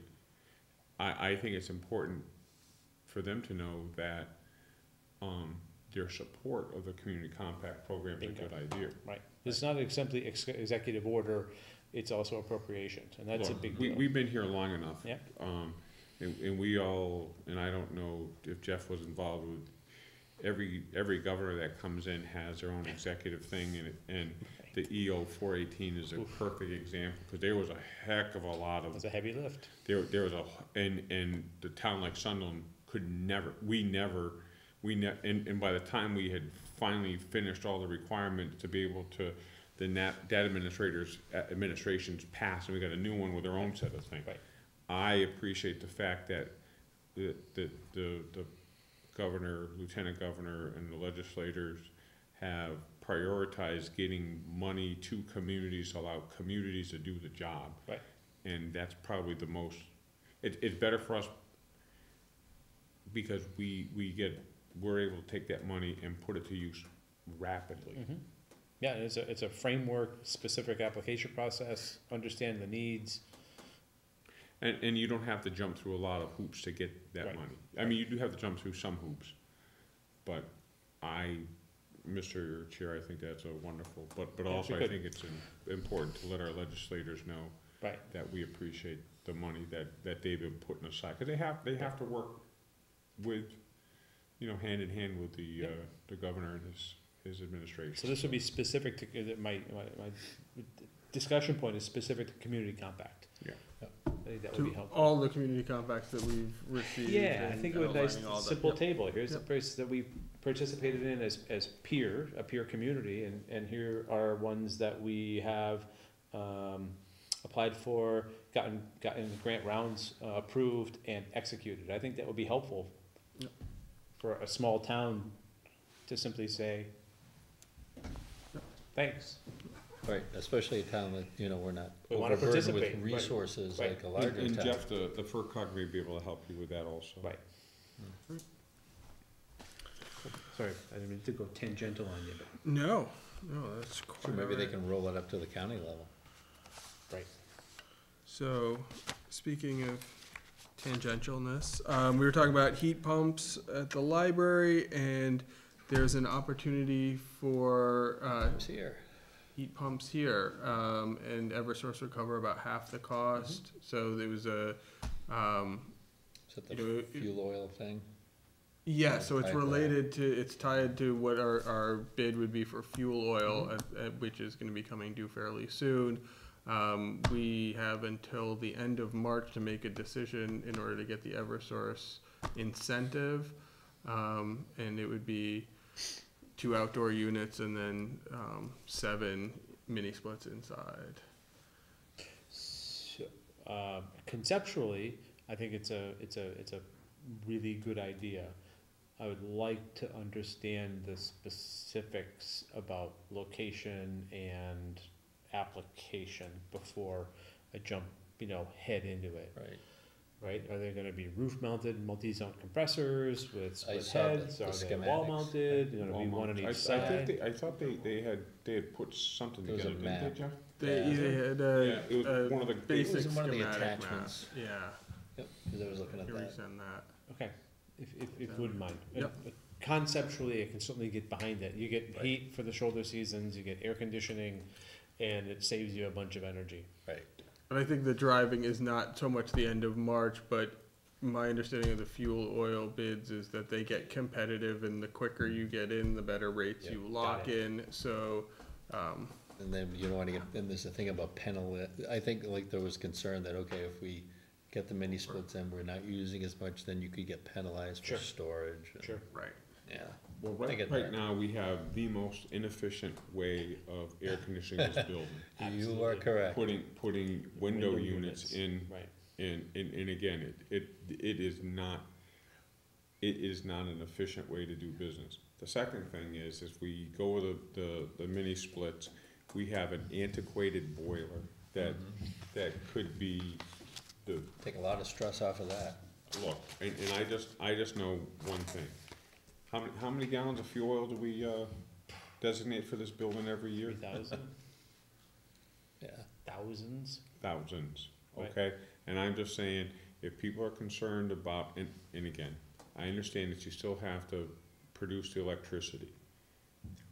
But But remember how I, it's I, produced I, now. I think a, a modern, modern power plant is much better at, Sure. at, at mo- at, at producing electricity, um, efficiently, um, and especially with Sims Mm-hmm. um, monitoring what goes up the stack. So I, I just, I think it's better efficiently. Even for the cooling alone, we gotta. we make Also, some we're able, efficiencies. we're able to bring to our community and, in times of heat, we, uh, community, we can have this building open space. to provide for cooling room, Yep. or cooling areas. In the winter, we have heating as well. I just think it's a plus plus all the way around for us. And, and, and we were, and, and we should be, and we should be, capital wise, we should be looking at replacing our boiler anyways. Right, it is on the building survey. Yeah. I, I, right, and, and it's, and it's time, it's what, four or five section boiler? That, that one there's four. Yeah, so we're, we're gonna, there's a cost to that. Right. Okay. You wanna simply vote to proceed? We have to Yeah. put it in the capital budget, but, We'll Make a motion to Second. proceed. okay.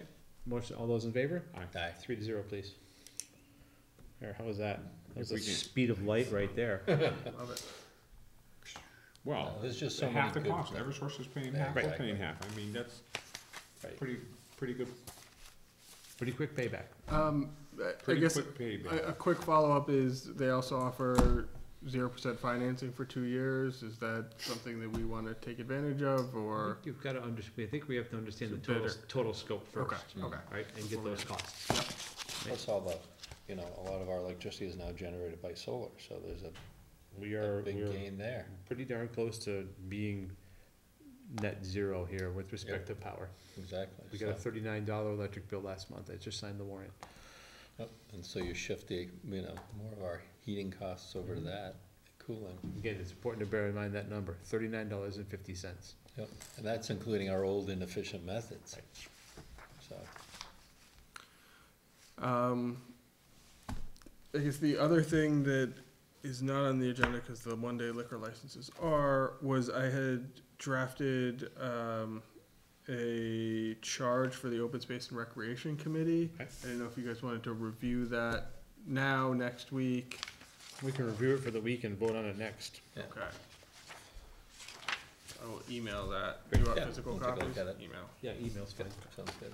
right? Open space, that allows us for our application continued, we're certified currently, we have a plan, but that was done with a cog. Mhm. And, uh, this allows us for park as well as other types of grants, Right, it's uh, important. with respect to, uh, state applications. Also, it's a key component to, uh, a key piece of the master Master plan. plan, exactly. So Jeff, we got a one-day liquor license draft for us to review? Uh, Yes. Scott, Before we go there, I, I I just like to add one thing. Um, Jeff, when you get back, can you write a, a letter to Mass DOT about, um, the new apartments that are going in and, and The traffic pattern? the traffic pattern? Oh, We see that And- email chatter. mm-hmm. Well, and, and again, I, I just, it, it's a, it's a frustrating thing, but for anybody to think that that not, that that area is not gonna be impacted by the additional traffic that is gonna be served, and, and again, it's being built. I, I, I get that, we're not stopping it, I'm not trying to stop it because it, that, that time is passed. Right. but we, we do have a responsibility for the safety, and I, I understand it's Mass Highways, it's Mass Highways Road, Mhm. but to, to stick your head in the ground and say it's not gonna affect. Right. Um, it, it is. I, I mean, I can see it already at six o'clock in the morning, I can, I, s- I see the work, the Just the workers that are trying, side, right. just trying to get in there, they can't, and I, and at, at the end of the day, guys, the, the people that work there can't get out. Right.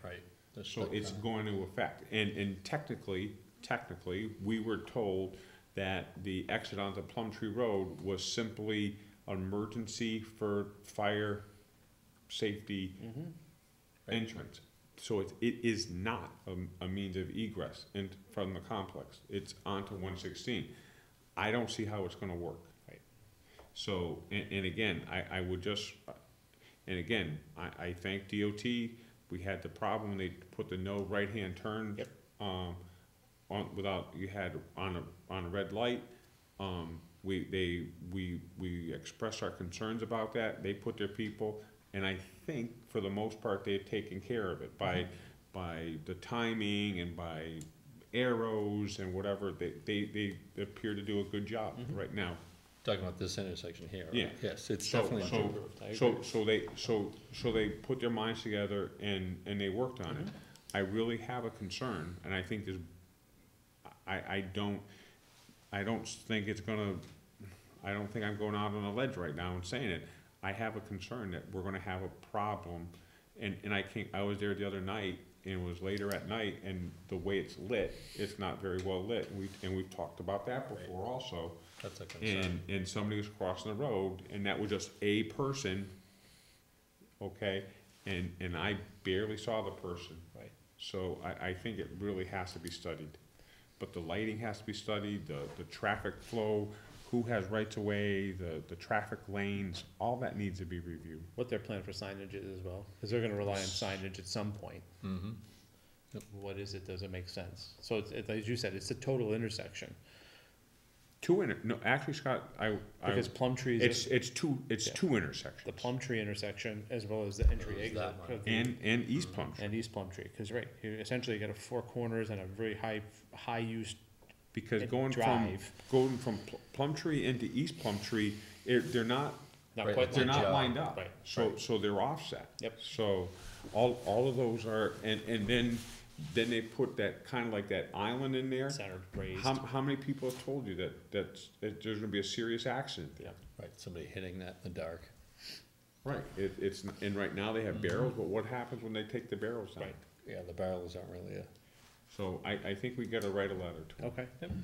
Ask for, I wanna ask for a meeting time or ask for a review? You want a site visit first, or you wanna plan review I would, first? I would just ask them, I, I, Take a I, look at it, take a look at it and then they could report back to us Okay. maybe. that makes sense. But I, I think it's gonna be, a- I- and again, I, I think we need, before they start filling up, and they'll be mm-hmm. putting people in there in August or, Right. or before. Right. We really gotta address it now. They still, we still got a period of time to get something maybe worked out. well, especially when you look at the way their occupancy plan is, it's not like a one-to-one ratio of units to vehicles. Um, so- Right. I, well, David, I think you're, you're absolutely right. I, I think a lot of things have changed since mm-hmm. the- it was originally, the, Right. the original traffic study. Now, now they're renting beds. They were talking about sixty cars, I think, in the original. one, and 65 I don't think cars, that'll right. happen.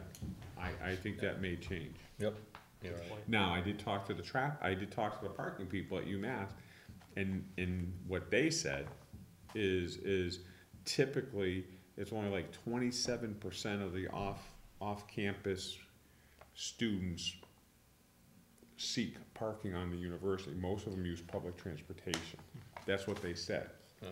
And, and, and Well, the UMass parking, they, they keep good numbers, so. I, I don't, bad, yeah. but even if you say twenty-seven percent, that, that's still a number. Right. But then you talk about all the potential piece, people crossing that road. Yep, yep. You know, cause, 'cause, I mean, if, if my choice is I can get off when the bus is heading north instead of waiting for it to go all the way around to Come back, right. guess what I'm doing? Right, So you're gonna have a sizable, um, population getting off the bus. Right, Yeah, And, and again, the lighting, the, Mhm. the, the speed, the people, how, how, Cause the speed's fifty along that, that stretch, right? It is, Fifty yeah. miles an hour Yep. there, David, yes.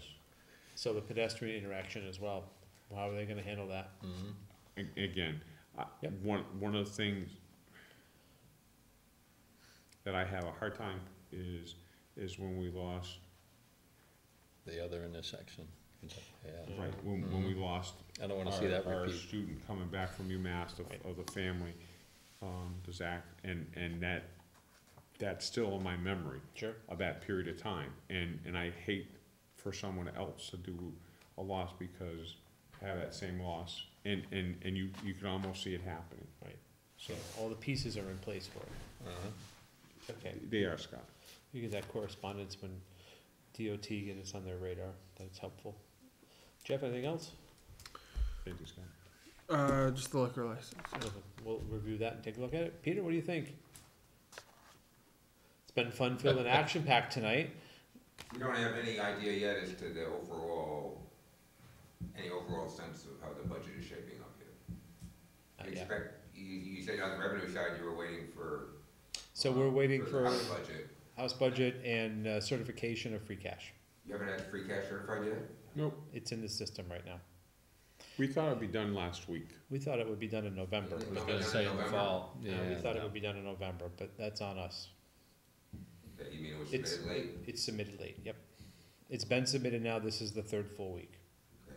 Um, do you have a sense of, you're talking about the apartment, new apartment complex down there, do you have a sense when the new growth that that generates will work its way into the available revenue?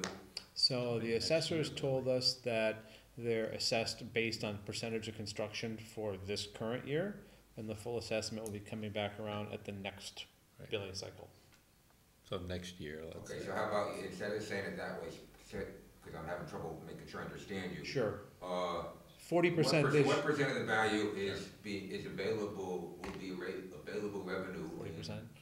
FY, tw- I assume that none is available now or very little in FY twenty. Correct. Right. How about for FY twenty-one? So I would venture to say somewhere in the forty percent range. And then FY twenty-two, hundred percent? Correct. And the valuation is the, Twenty-seven million. say again? Twenty-seven million. Thank you, so do the math and, okay. Personal Four hundred odd thousand maybe Extra. totalized. At the end, at- when it's all said and done, you know, hundred and sixty. Yep. For the upcoming fiscal year. Correct. Yeah, we're waiting for our numbers to kind of ra- rattle into the bucket right now. The assessors were pretty clear, uh, when they did their budget presentation, they couldn't assess on the completion of the project as it wasn't complete. So they could assess on what was, they could assess on what was currently complete, and they have done that. So the tax bill went out based on its status currently. The fact that those units are furnished, do they assess on personal property in there? That It will be. Yeah, we were just be. talking about that. Um, The, the, the, the assessors are very attuned, and they, they actually picked it up in their advertising. They're, Right. they're uh, advertising very aggressive, aggressively, and that's one of the things that the assessors picked up right away, is they're saying that they're f- fully Furnished. furnished apartments. no, I went, and read the, you know, the stuff on the web about what they're advertising and what the, and, you know, 'cause the other thing I'm interested in, is- or we're, you know, concerned about is, is, you know, how many kids of school age are gonna be in there, and at this point, there's absolutely no way of knowing. Right. Um, and so that's, you know, something that's, uh, we're basically at this point in this, in the elementary school budget, not putting anything in for increased costs of that, You can't. because there is. have no idea.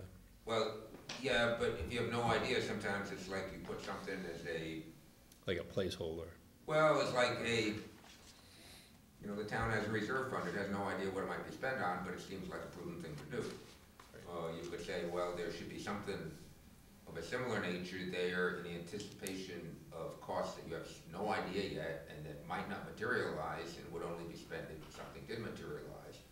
But as far as what I see is the, you know, I sort of look at three, you know, possibilities, one of which would be you get, we could take a certain number of students into our existing, uh, class structure, uh, without any increased cost, because if you're less than the number that you're trying to cap each class at, you know, so if you, Right, you get that. take twenty in a class, and you've only got seventeen in that class, you can take three more, and it doesn't, it doesn't cost you anything.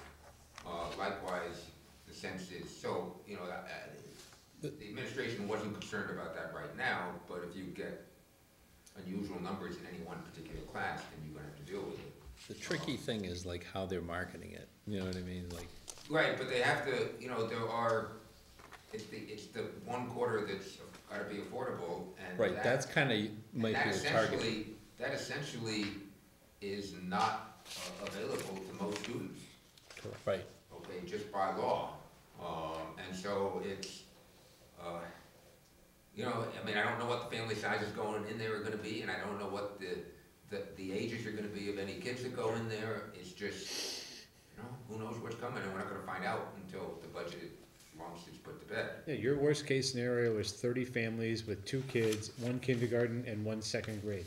Right. All roll in this in year one. Right, and they're all riding the school bus. Correct. right. okay? And, you know, and, and so, of the three things, those are two of the three things, okay, I'm gonna mention, and I'm actually more, more worried about the third one, because even if you've got a much smaller number, okay, and they fit into all our, you know, they, they, they fit into our existing class sizes, and they fit onto our existing school bus, some percentage is gonna have special ed needs. There you go. okay, and you may only have, you know, you only had ten kids coming, you say, well, we got no extra cost, we can handle all that, except the fact that three of them, you know, are, go- or three or four are gonna have some special ed costs, and one of them probably gonna have some significant special ed costs, okay, and that's, That's the, then that's, what do you do? right, that's, You know, if that's you the come one, and say, well, give me some money, cause this might happen, you know, we don't tend to budget that way. We can't. I And I would understand, say, I and I would say you can't because, Right. because let's say you increase the budget by a hundred thousand dollars as projected growth or, or thing. It doesn't happen. I can guarantee you next year Right. that you don't subtract a hundred thousand dollars off the budget. You start at that hundred thousand dollars yeah. and, I and would, I would actually, I would hope that you're less, that's less true than maybe it has been. I would hope there's more openness so that it's clear that what's being done. well, Okay. I've, I've never seen a school budget go down. Frontiers apparently, I saw Frontiers, but that, that's based. some of them share, Right. Assessment. Yeah, right, the Assessment. overall budget hasn't gone down. right, Right. Yeah, right. The I would agree assessments with that. goes down.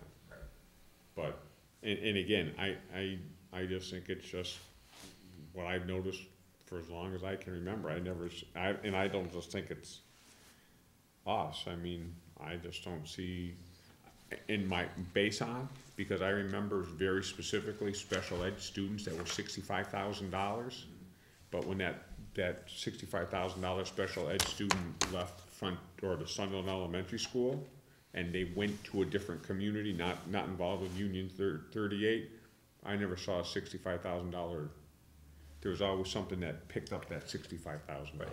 That's, and I mean, I've seen that twenty times. Maybe not sixty-five, but 32, 75, 18, One big one. well, and it one was the big one, same, hundred twenty thousand one time. It And I've never seen it reflected when that student left the system. That's why we pulled out those expenses for retirement costs, because they're one-time expenses and they shouldn't be in there That's absolutely. bumping the yeah. budget up by, Yep, Great points. So Peter, we'll work with you, again, as soon as we know, we broadcast it widely, what our anticipation is on the revenue side. And our global budget piece, as I said uh, earlier in the evening, we're on for the ninth for the schools. Uh, no, second is the schools. Second is Next week, I believe. Next week is the Caucus. schools, so we'll get the so we first, do caucus and schools, Yeah. yeah, it's gonna be a Wow. fun night. huh? It's gonna be a fun night, Long night. yes. schools will be quick. The good smirk, Peter, I We like just, it. we just talked about one library tonight. I know, And, and what, what's the library total budget to the town? two hundred and change, less than three hundred thousand. So how much of that two hundred thousand out of an eight, nine million dollar budget's got, Not a lot. percentage wise? So we'll be fine at the school, we'll be done by eight. Thirty the next day. Anything Have a else? Friendly board here. Oh, my God. And, Mis- Mr. Optimism today, huh, there, You Davey? gotta eat have it. Dinner You before got- you get here. I get, yeah, eat dinner before, we ain't gonna eat dinner, we're getting home this time. That's no the only way. reason I'm optimistic. I did that tonight. You ate dinner? I ate dinner before I Yeah, came you go. tonight. That's a good man. That's a good man. I fed the dog before I came, so. There you go. No, I don't, as far as the house revenue thing, I don't expect, uh, I mean, one of the chunks we get from the state is chapter seventy aid. And, Right. you know, what was in the governor's budget was the same extra thirty bucks a kid. And Right. if you, you know, I went, I went and did a little searching and looked at the numbers, and if, uh, you looked at, you know, the, the regular way of calculating chapter seventy would, we get a whole bunch less of that, but because, you know, we get this, so it's not like, you know, this whole two hundred million they plugged in this year, you know, they're plugging in this time, and then another two hundred million each time for the next six Right. more years, so on. It's not gonna do us any good. No. Not gonna do us damn bit of good. We, no, we've said that all along. Right, but I just. Matter of fact, we, t- we, that's what the, the state senator Legislature said. said The it. legislator said the same thing. Un- Until, until we break the eighty-two percent, it doesn't, it, it do- Right, absolutely yeah. doesn't matter. The Right. bulk of that money went to the Andovers, the Newtons, the towns with the ability to pay, with, with, uh, to, to Representative Mark's, uh, efforts and the Berkshire delegation, a little bump on the rural side. But we're, we're, we're in the sucker hole. We don't, we, we don't, we're not rural enough. And the eighty-two percent, we've already demonstrated our ability to pay, so guess what? We're just gonna keep paying. Our only, our only advantage is that we're sort of almost a growth where everybody else in Franklin County is go, decreasing. That's right. And we're staying that maybe slight rise. So, so if we get one more student, we get another thirty dollars. Right. Right, that's it. That's it. And, uh, I, I mean, that's the We way it get, is. we get, they got this new thing, $30. rural aid, and so we're, it's now the second, we're in the second year now, mm-hmm. and we're getting ten thousand instead of five thousand we got the first year, so Yep. you could say, well, that's a huge increase percentage wise, but that almost covers the cost of attendance, almost of one student. Almost covers one student. Yeah. But you know, the interesting thing is with the, the chapter seventy thing, you know, because they're saying, oh, they're plugging so much more money into the system, they're also like putting demands for reporting, Right, right, okay, from the Right. schools in terms of, uh, you know, what they're doing with all the new money and what, uh, they're doing as far as, uh, you know, pushing towards more regionalization and pushing towards, uh, making sure that your, uh, education of the different demographic schools, de- demographic groups at the school, that, that they're all proceeding equally. Mhm, Uh, that's fair. You know, the ones they, they, they cover the minority and the low income and all those, that, Yeah. you know, and so you have to re, you know, make sure you report on all this sort of stuff. Well, you know, we're getting another five thousand in chapter seventy money.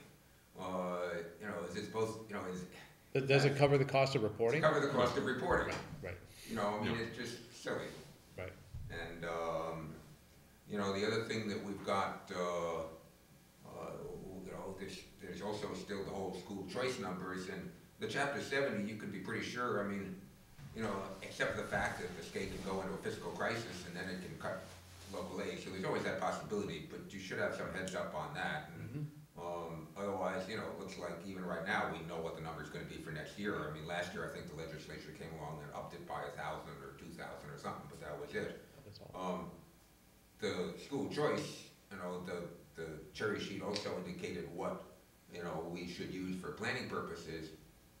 But that's, like, that number is just, uh, Shot in the sky. an image, you know, a mirage sort of, it's like, who knows what the, and, and, you know, we don't even know what the number is gonna be for this year. Sure. Um, so that, So your, your, your October survey counts for the four, Funding.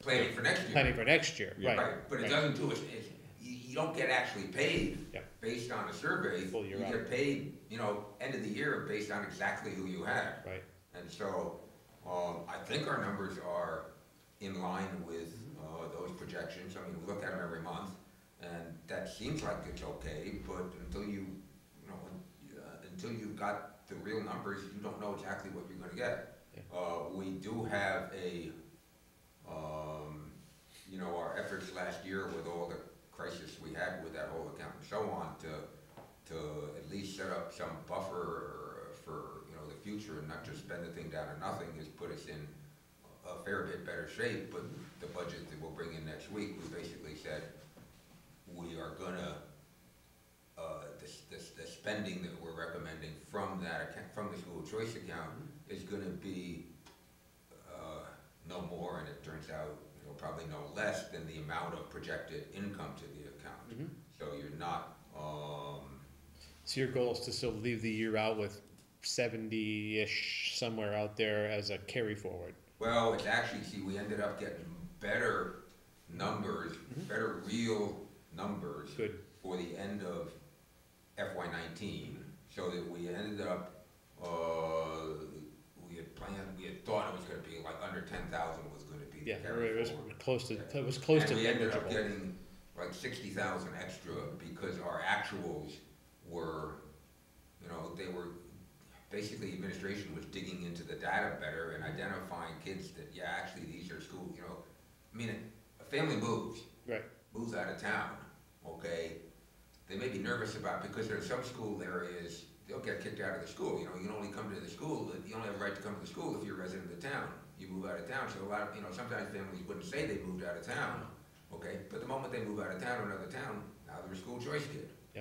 Okay, and so we, you know, they did a bunch of follow-up on things, and, you know, the, given the way that, you know, things are, in some cases, you've got people who are, uh, you know, going in and out of foster care, and, Yep. you know, I mean, there are a, a whole lot of different family situations that, that they have to deal with, so you, you know, you even think, when you think you've got it all, you know, straight, it's still, you get surprised sometimes. We ended up the year with, uh, sixty instead of seven, and then, um, you know, we were using a lower number this year than what the October survey indicated, so what we're projecting now for, for the end of this year is, you know, something in excess of a hundred. And so that's definitely a better situation.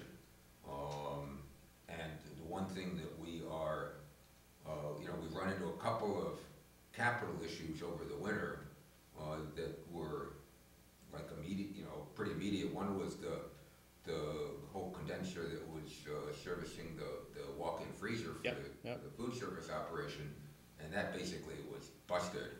And so, uh, we've already replaced that, um, and that's being funded, that was like, uh, vicinity of nine, ten thousand dollars. Uh, we've had a surplus in our school lunch revolving fund, because more money was put into it a few years ago than it was supposed to be, and so we're saying, okay, you know, we can use that to. That, that makes logical sense, I mean, it's. Yeah, it's absolutely Yeah, yeah, stuff. yeah, absolutely. Okay, and, uh, you know, we're hoping there's also a need for a couple other of the fixtures in the cafeteria to be replaced, and we'll be looking at, as to whether that can be financed out of there or not, because, you know, usual thing is you look at what other sources of revenue you might be able to have, and other than just the regular budget. Right, right. Um, and then the, the boiler problem, and, you know, we talked to you about that, and, you know, we did the tour of the building and so on, and, uh, we're, we're- it turns out we have to, you know, put that through the bid process, but that's gonna be about thirty grand, and because, you know, any access to capital funds, we wanna, you know, get that done. Um, any access to capital funds couldn't be before the, you know, next fiscal year.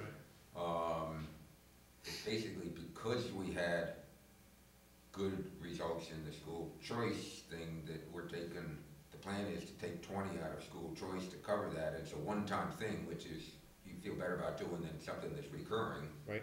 And, uh, and then there's an account, uh, that I, you know, I wasn't even sure people knew about it, that is what's called a school users fund. mm -hmm. It was set up 25, 30 years ago, something Yeah. like that. And a little bit goes into it every time somebody pays a little bit of a fee to use the building.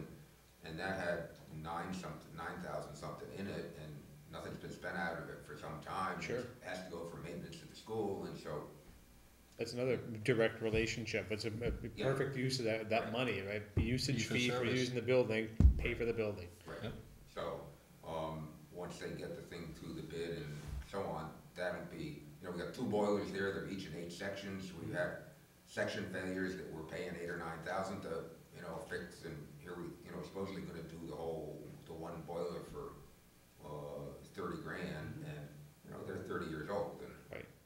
So, you know, you could run the building on one of them, but if it's just one and the temperature gets down to like below ten or something, then it can't keep it up to, Yep. That proper makes sense. temperature. So, we'll at least feel better about it, I mean, it's, you know, I watched the last committee meeting and I appreciated the dialogue as well as the perspective that you brought about keeping the funds that are one-time without increasing a particular cost, right? So it doesn't, it doesn't turn into the next year's new expense. It's like, let's figure out a way, what's available, Right. and let's apply it on something that is maybe capital intense or maybe a repair intense, but has a linearity to it. And I thought, I, I, I thank you for that, bringing that to the meeting. I appreciated that perspective. I was Lin- watching it on lin- a Sunday morning. Linitarian? What was that word? Linear. Oh, Lin- linear. Linear mm. relationship. Oh, I didn't hear, I didn't understand that. Linearity is probably. Yeah, what I was trying- linearity. Linearity. But That's you certain- saw the, you saw the budget discussion. Yeah. I think that means Basically- like this. Basically, you know, unless something, As opposed to tangential. I know. you know, we didn't have a, we didn't have a- an official vote on what to bring forward to your meeting next week, but Right. the number, uh, what they had presented to us was something that would actually, we were a little unhappy with how much school choice was being used, because a little more was being used than was expected for incoming revenue. Right. And so we, we changed that, Mhm. um, so that they would match, and, again, unless something has changed in the meantime, the number was gonna be like a four point nine percent increase. Uh, the one big thing in there that, uh, um, is a new position is, again, dealing with this whole special ed situation, and, um, I mean, the, the, the term they were using, I don't quite understand, it was like team leaders, but it's basically another teaching, another, at the teacher salary scale, um, you know, one new position, and they've been having a tough year with, you know, a number of kids. Mhm. And you heard Catherine say about, you know, well, five point two percent of the kids are on autism you know, spectrum, well, that's ten kids at the school. Uh, one of the things you may have seen on that tape was the question, how many one-to-one age do we have at the school? Mhm. Seven, one-to-one age. Right. Okay, um, that gets, you know, that gets expensive, Yes. but you gotta do it. Right. Um, so anyway, there was question about this fifty-five thousand dollars in the budget for a team leader, and, you know, I think someone on the committee had, you know, real questions about that, whether that was gonna fly or not, but Darius sort of said, look, and he says, at least we gotta present it. Right. Okay, at least we gotta, you know, have it there and see, you know, because if we just kill it ourselves, and if we, if it's something we need and we just kill it ourselves, then we're not doing this right. I appreciated that element of the discussion as well, because again, if it simply dies at, at school committee level, knowing that there's a need, there's not an opportunity to have a larger, um, exposure of that need. There are a lot of people in town who no longer have kids in elementary school. They only hear about the true. elementary school at town meeting, Right. right? So I think it was important to have that out there and have it as part of the general presentation. And I'm a little bit curious as to, you know, I think it's a, it, it can be a, um, a difficult situation to explain as fully as you might wish to, because there are real privacy concerns. Um, and because you're dealing with a, s- you know, maybe a very small population that is the most, getting the, with the most needs, Mhm. you really have to be careful about what you can say in a, right. in a public, uh, session about, uh, this, because you gotta respect the individuals. Um, So, I'm, you know, one of the things I'm probably gonna go talk to them this week and say, you know, you- you gotta think about how you're gonna present it, because if you're trying to make a case for why this additional position is needed in the special ed program, you've gotta have a way of, know, putting some meat on the bones, not just saying, well, I can't, you know, we need it, but I can't talk about it, Right, right, because that doesn't, that doesn't do the job, that's a good point. so. Well, so we get a primer, we'll be out at eight next week. Now, he says, Seven forty-five. Seven Now, forty-five. now, now, Darius, you know, he was talking about, he says, well, you know, maybe the fact that, that Frontier, he says Frontier's gonna vote on their budget. This is as of our meeting earlier this month, he said Frontier's voting on the budget next week, he says the way it stands right now is Sunti, is Sunderland share is gonna be thirty percent decrease from the previous year. Uh, he says, I can't imagine them upping it the next week, so, um, if that's the case, and then he sort of want to, you know, get credit for that on the Sunderland one, maybe the two put together is something you could buy. Now, I went and looked at the, at the, uh, stuff that was put out when the governor's budget came out about what the, you know, the chapter seventy aid was and, and minimum school spending was for our regional schools too. And if I looked at, and I don't know if this is the way it plays through into what we get assessed, but at Franklin Tech, it showed ten students instead of six students, mm-hmm. and it showed, you know, a minimum spending requirement that was up sixty or seventy thousand, is that That's consistent, consistent with what we've got, yep. Yeah, and I'm thinking, oh Christ, that just blows the budget right there. So we're not happy to see that. Because, you know, those are the two bill, I mean, those two, you can't fight them. Yeah. I mean, I suppose, I suppose you could fight Frontier, but we haven't ever had any success in doing that. And, um, you know, and I think that, um, I mean, I'm real impressed by Darius. Okay, I mean, he's a, he's a straight shooter, and he's got, you know, he's smart, and he communi- and he communicates well. Um, and also by Shelley, the, the new business manager, and she's apparently done a whole bunch of re- revamping the business operation over there and getting, a- I think, a lot more use out of people there who, you know, Patty used to just keep everything to herself, and that got her in trouble sometimes. Sure. And, and now you've got more people doing, you know, more of the staff doing chunks of work that basically are freeing Shelley up to do what she needs to do, and so I think, know, I, I've been real impressed how that's, I mean, I've only, I've only been on the school committee for, you know, over two years now, and I'm a second superintendent and third business manager, and both cases, they're like way better. Nice. Okay, and I That's good to think hear. that's, and uh, likewise, uh, you know, the food service director, I- I'm really impressed by, I'm, I'm still, you know, waiting to see on the new director of facilities. Um, but at least the top figures in the administration, I think, are big improvement, Good, that's good to hear. and, and good at, you know, being open about what's going on. So I think that's, you know, that doesn't hurt. No, that's a step in the right direction, even if it's good news and or bad news, it's, That's it's- right. it's common news, and that's a good thing to have. Right, and no, but, but it's still no matter how, you know, whatever, it's still gonna be a problem, because you got a school there and you take whoever comes in the door and, Right. you know, and the state keeps telling you, do this, do this, do that, and, oh yeah, oh yeah, well, we'll get the money if we appropriate it. We're gonna work on that. Okay, anyway, thank you, sorry to take your time. No, no, no, no trouble at all, Peter. I know we'll be talking about it next week, but I thought maybe it'd be useful to just, Yeah, primarily, maybe we'll have our, uh, have our, have our free cash numbers by then as well. yeah, okay. That'd be thank helpful. Thanks so much. Anything else? Thanks. All set, Scotty? Nice. He's thinking about skiing down the slopes right now. He's thinking about the après part of the day. That's right. All right. Motion uh, to no other adjourn. Discussion, motion to adjourn. Is there a second? Second. All those in favor? Aye. You can call us out three to zero, please, at eight thirty-four.